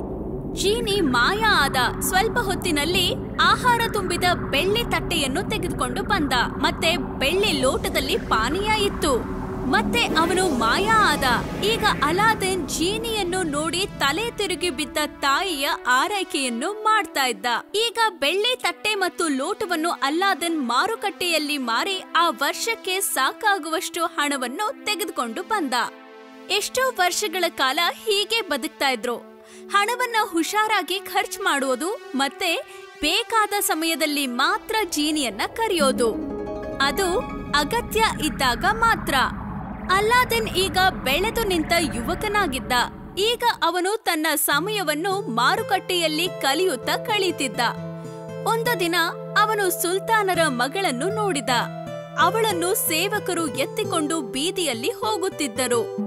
ಅವಳು ಎಷ್ಟು ಸುಂದರವಾಗಿದ್ದಳು ಎಂದರೆ ಅವನಿಗೆ ನೋಡುತ್ತಿದ್ದ ಹಾಗೆ ಪ್ರೀತಿ ಹುಟ್ಟಿ ಮದುವೆಯಾಗಬೇಕು ಅನ್ನಿಸ್ತು. ಅವನು ಆ ತೋಟದಲ್ಲಿ ತಂದಿದ್ದ ಒಡವೆಯನ್ನು ತಗೊಂಡು ಬಂದ. ಅದರ ಬೆಲೆ ಅವನಿಗೆ ಗೊತ್ತಿರಲಿಲ್ಲ. ಅದನ್ನ ತನ್ನ ತಾಯಿಗೆ ಕೊಟ್ಟು ಸುಲ್ತಾನರ ಮಗಳನ್ನು ನನಗೆ ಕೊಟ್ಟು ಮದುವೆ ಮಾಡಲು ಕೇಳು ಎಂದು ಹೇಳಿದ. ಈ ಸುಂದರವಾದ ಆಭರಣಗಳನ್ನು ಸುಲ್ತಾನ್ ನೋಡಿದಾಗ ಅವನಿಗೆ ಮೆಚ್ಚುಗೆಯಾಯಿತು ಹ್ಮ್. ನಿನ್ ಮಗನಿಗೆ ಅವನ್ ಕೊಟ್ಟಿರೋ ಆಭರಣಗಳ ನಲವತ್ತು ಪಟ್ಟು ಒಡವೆ ತಂದು ಕೊಡೋಕೆ ಹೇಳು. ಮತ್ತೆ ನಾನು ನನ್ನ ಮಗಳನ್ನ ಅವನಿಗೆ ಕೊಟ್ಟು ಮದುವೆ ಮಾಡ್ತೀನಿ. ಅಮ್ಮ ಖುಷಿಯಿಂದ ಅರಮನೆಯಲ್ಲಿ ನಡೆದ ಸಂಗತಿಯನ್ನು ಮಗನಿಗೆ ತಿಳಿಸಲು ಬಂದಳು. ಅಲ್ಲಾದೆನ್ ಜೀನಿಗೆ ಆಭರಣಗಳನ್ನು ತರಲು ಆದೇಶ ನೀಡುತ್ತಾನೆ. ತಕ್ಷಣ ನಲ್ವತ್ತು ಕಪ್ಪು ಸೇವಕರು ಮತ್ತು ನಲವತ್ತು ಬಿಳಿ ಸೇವಕರು ಒಡವೆಯ ಪಾತ್ರೆಯನ್ನು ಹಿಡಿದು ನಿಲ್ಲುತ್ತಾರೆ. ಎಲ್ಲರ ಪಾತ್ರೆಗಳಲ್ಲಿ ಒಡವೆ, ವಜ್ರ, ವೈಡೂರ್ಯಗಳು ತುಂಬಿ ತುಳುಕುತ್ತಿರುತ್ತವೆ. ಈಗ ಅಲಾದಿನ್ಗೆ ರಾಜನು ಸಹ ನೋಡದೇ ಇರುವಂತಹ ಅದ್ಭುತವಾದ ವಸ್ತ್ರ ದೊರೆಯುತ್ತದೆ. ಈಗ ಆಭರಣಗಳಿಂದ ಅಲಂಕೃತಗೊಂಡ ಕುದುರೆಯೂ ಸಹ ಬಂದು ನಿಲ್ಲುತ್ತದೆ. ಈಗ ಅಲ್ಲಾದನ್ ಬೀದಿಯಲ್ಲಿ ಹೋಗುತ್ತಿದ್ದಂತೆ ಸೇವಕರು ಒಡವೆಯನ್ನು ಜನರ ಕಡೆಗೆ ಹಾಕುತ್ತಾ ನಡೆದರು. ಜನರು ಅಲ್ಲಾದನ್ನ ನೋಡಿ ಹಾಗೆ ಬೆರಗಾಗಿ ನಿಂತು ಬಿಟ್ಟರು. ಸುಲ್ತಾನ್ ಎಷ್ಟು ಬೆರಗಾಗಿ ಬಿಟ್ಟಿದ್ದ ಎಂದರೆ, ಅವನು ರಾಜ್ಯದ ದೊಡ್ಡ ನ್ಯಾಯಾಧೀಶರನ್ನು ಕರೆಸಿ ಅವರಿಗೆ ಮದುವೆಯ ಕಾಂಟ್ರಾಕ್ಟ್ ಅನ್ನು ಒಪ್ಪಿಸುತ್ತಾರೆ. ಈಗ ಅಲಾದಿನ್ ಮನೆಗೆ ಹೋಗಿ ದೀಪವನ್ನು ಮತ್ತೊಮ್ಮೆ ಮುಚ್ಚುತ್ತಾನೆ ನಿಮ್ಮ ಆದೇಶ ಏನು ದೊರೆ? ನನ್ನ ಆದೇಶ ನನಗೆ ಈ ರಾತ್ರಿ ಒಂದು ಅರಮನೆ ಕಟ್ಟಿಕೊಡು. ಅದು ಸುಲ್ತಾನ್ರ ಅರಮನೆಯಂತೆ ಇರಬೇಕು. ಅದು ನನ್ನ ವಧುವನ್ನು ಸ್ವಾಗತಿಸುವ ಹಾಗೆ ಇರಬೇಕು. ಈಗಲೇ ಹೋಗು. ಮತ್ತೆ ಎಲ್ಲ ನಾನು ಹೇಳಿದ ಹಾಗೆ ತಯಾರಾದ ನಂತರ ಮತ್ತೆ ವಾಪಸ್ ಬಾ. ಮರುದಿನ ಸುಲ್ತಾನ್ಗೆ ಆಶ್ಚರ್ಯ ಆಯ್ತು. ತನ್ನ ಅರಮನೆಯ ಎದುರು ಸುಂದರವಾದ ಅರಮನೆಯನ್ನು ನೋಡಿ. ಅದು ಹಿಂದೆ ಎಂದೂ ನೋಡಿರದಷ್ಟು ಸುಂದರವಾಗಿ, ಅದ್ಭುತವಾಗಿ ಇತ್ತು. ಮದುವೆ ಬಹಳ ಚೆನ್ನಾಗಿ ನಡೆಯಿತು. ವರ್ಷಗಳು ಕಳೆದವು, ಅಲ್ಲಾದನ್ ಮತ್ತು ಅವನ ಹೆಂಡತಿ ಬಹಳ ಖುಷಿಯಾಗಿ ಬದುಕಿದ್ರು. ಒಂದು ದಿನ ಅಲ್ಲಾದನ್ ತನ್ನ ಹುಡುಗರ ಜೊತೆ ಬೇಟೆಯಾಡುವಾಗ ಆ ಮಾಯಾವಿ ಮತ್ತೆ ಮರಳಿ ಬಂದ. ಅವನಿಗೆ ಅಲ್ಲಾದನ್ನ ಗಳಿಕೆ ಬಗ್ಗೆ ತಿಳಿದಿತ್ತು. ಮತ್ತೆ ಅದು ಆ ಮಾಯಾವಿ ದೀಪದಿಂದ ಆಗಿದ್ದು ಅಂತ ಅವನಿಗೆ ತಿಳಿದಿತ್ತು. ಈಗ ಆ ದೀಪವನ್ನು ತನ್ನದಾಗಿಸಿಕೊಳ್ಳಲು ವೇಷ ಬದಲಾಯಿಸಿ ದೀಪ ಮಾರುವವನಂತೆ ಅರಮನೆಯ ಕಿಟಕಿಯ ಬಳಿ ಹೊಳೆಯುವ ದೀಪಗಳನ್ನು ಮಾರುತ್ತಾ ನಡೆಯುತ್ತಾನೆ. ಹಳೆ ದೀಪಕ್ಕೆ ಹೊಸ ದೀಪ, ಹಳೆ ದೀಪಕ್ಕೆ ಹೊಸ ದೀಪ. ಎಂದು ಕಿರುಚತೊಡಗಿದ ಈಗ ಅರಮನೆಯ ಆಳುಗಳು ದೀಪಗಳನ್ನು ತೆಗೆದುಕೊಂಡು ಬಂದರು. ಅವನು ಅವರಿಗೆ ಅದರ ಬದಲಿಗೆ ಹೊಸ ದೀಪಗಳನ್ನು ಕೊಟ್ಟ. ಈಗ ಯುವರಾಣಿ ಅದನ್ನು ಕೇಳಿಸಿಕೊಂಡು ಅಲಾದೆನ್ ತನ್ನ ಕೋಣೆಯಲ್ಲಿ ಇಟ್ಟಿರುವ ಹಳೆ ದೀಪವನ್ನು ನೆನೆದಳು. ಸೇವಕನಿಗೆ ಆ ದೀಪದ ಬದಲಿಗೆ ಹೊಸ ದೀಪ ತರೋದಕ್ಕೆ ಹೇಳಿ ಕಳಿಸ್ತಾಳೆ. ತಕ್ಷಣವೇ ಅವನು ತಡ ಮಾಡದೆ ಜೀನಿಯನ್ನು ಕರೆದು ಅರಮನೆ, ರಾಣಿ ಎಲ್ಲವನ್ನೂ ತನ್ನದಾಗಿಸಿಕೊಂಡು ಅಲ್ಲಿಂದ ಅದನ್ನು ತನ್ನ ಮನೆಯಾದ ಆಫ್ರಿಕಾಗೆ ತೆಗೆದುಕೊಂಡು ಹೋಗುತ್ತಾನೆ. ಇದರ ಬಗ್ಗೆ ಏನೂ ತಿಳಿಯದ ಅಲ್ಲಾದಿನ್ ಆ ಸಂಜೆ ಮನೆಗೆ ಹಿಂದಿರುಗಿದರೆ ಏನು ಇಲ್ಲದಿರುವುದು ಕಂಡುಬರುತ್ತದೆ. ಸುಲ್ತಾನ್ ಅಷ್ಟರಲ್ಲಿ ಅವನನ್ನು ಬಂಧಿಸಿ ತರುತ್ತಾನೆ. ಅಲ್ಲಾದಿನ್ ಈ ಸಮಯದಲ್ಲಿ ಕಡೆ ಬಾರಿಗೆ ಪ್ರಾರ್ಥಿಸಲು ತನ್ನ ಕೈಯನ್ನು ಜೋಡಿಸುತ್ತಾನೆ. ಕಡೆಯ ಪ್ರಾರ್ಥನೆಗೆ ಅವನು ಇನ್ನೂ ಆ ಮಾಯಾವಿ ಉಂಗುರ ತೊಟ್ಟಿರುವುದು ಮರೆತಿದ್ದ. ಆದರೆ ಈಗ ತಿಳಿಯದೆ ಅದನ್ನು ಉಜ್ಜಿದಾಗ ಜೀನಿ ಮತ್ತೆ ಬಂದ. ನಿಮ್ಮ ಆದೇಶ ಏನು ದೊರೆ? ನನ್ ರಾಣಿ ಇರೋ ಜಾಗಕ್ಕೆ ನನ್ನ ಕರ್ಕೊಂಡು ಹೋಗು. ಅವನ ಮಾತು ಮುಗಿಯುವಷ್ಟರಲ್ಲಿ ಆಫ್ರಿಕಾದಲ್ಲಿ ಬಂದು ನಿಂತಿದ್ದ ಮತ್ತೆ ತನ್ನ ಪ್ರೀತಿಯ ಎದುರು ನಿಂತಿದ್ದ. ರಾಣಿ ಅಲ್ಲಾದನ್ಗೆ ನಡೆದದ್ದನ್ನೆಲ್ಲ ಹೇಳಿದಳು. ಮಾಯಾವಿ ತನ್ನ ಪ್ರೀತಿ ಗೆಲ್ಲಲು ಯತ್ನಿಸಿದ್ದನ್ನೆಲ್ಲ ಹೇಳಿದಳು. ಅಲ್ಲಾದಿನ್ ಅವಳಿಗೆ ಒಂದು ವಿಷದ ಬಾಟಲಿ ಕೊಟ್ಟು ಮಾಯಾವಿ ಬಂದಾಗ ಅದನ್ನ ಅವನಿಗೆ ಕುಡಿಸಲು ಹೇಳಿದ. ನಂತರ ಹತ್ತಿರದಲ್ಲೇ ಅವನು ಬಚ್ಚಿಟ್ಟುಕೊಂಡ. ಆ ಸಂಜೆ ಚಂದ್ರ ಮೇಲೇರ್ತಿದ್ದ ಹಾಗೆ ಮಾಯಾವಿ ರಾಣಿಯ ಕೋಣೆಗೆ ಬರತೊಡಗಿದ. ಆದರೆ ಮೊದಲಿನಂತೆ ಅಳುತ್ತ ಸ್ವಾಗತಿಸುವ ಬದಲಿಗೆ ರಾಣಿ ಅವನನ್ನು ಖುಷಿಯಿಂದ ಸ್ವಾಗತಿಸಿದಳು. ಪಕ್ಕದಲ್ಲಿ ಕುಳಿತುಕೊಳ್ಳುವಂತೆ ಹೇಳಿದಳು. ನಂತರ ಅವನಿಗೆ ಪಾನೀಯ ಕೊಟ್ಟಳು. ಮಾಯಾವಿ ಅದನ್ನು ಸಂತಸದಿಂದ ತೆಗೆದುಕೊಂಡ. ಕಡೆ ಹನಿಯವರೆಗೂ ಕುಡಿದ ನಂತರ ಸತ್ತು ನೆಲಕ್ಕೆ ಬಿದ್ದ. ಅಲ್ಲಾದೆನ್ ಹೊರಗೆ ಬಂದು ತಕ್ಷಣ ಆ ದೀಪವನ್ನು ತೆಗೆದುಕೊಂಡ. ಅದನ್ನು ಉಜ್ಜುತ್ತಿದ್ದ ಹಾಗೆ ದೀಪದ ಜೀನಿ ಬಂದ. ಅದರ ಸಹಾಯದಿಂದ ಅರಮನೆ ಮತ್ತು ಅದರಲ್ಲಿ ಇದ್ದ ಜನರೆಲ್ಲ ಮತ್ತೆ ಮರಳಿ ಇದ್ದ ಜಾಗಕ್ಕೆ ಬಂದರು. ಅಲ್ಲಾದಿನ್ ತಕ್ಷಣ ರಾಣಿಯನ್ನು ಅವಳ ತಂದೆಯ ಬಳಿ ಕರೆದುಕೊಂಡು ಹೋದ. ಈಗ ಮೂವರು ಖುಷಿಯಿಂದ ಅತ್ತರು. ನಂತರ ಖುಷಿಯಾಗಿ ಬದುಕಿದರು.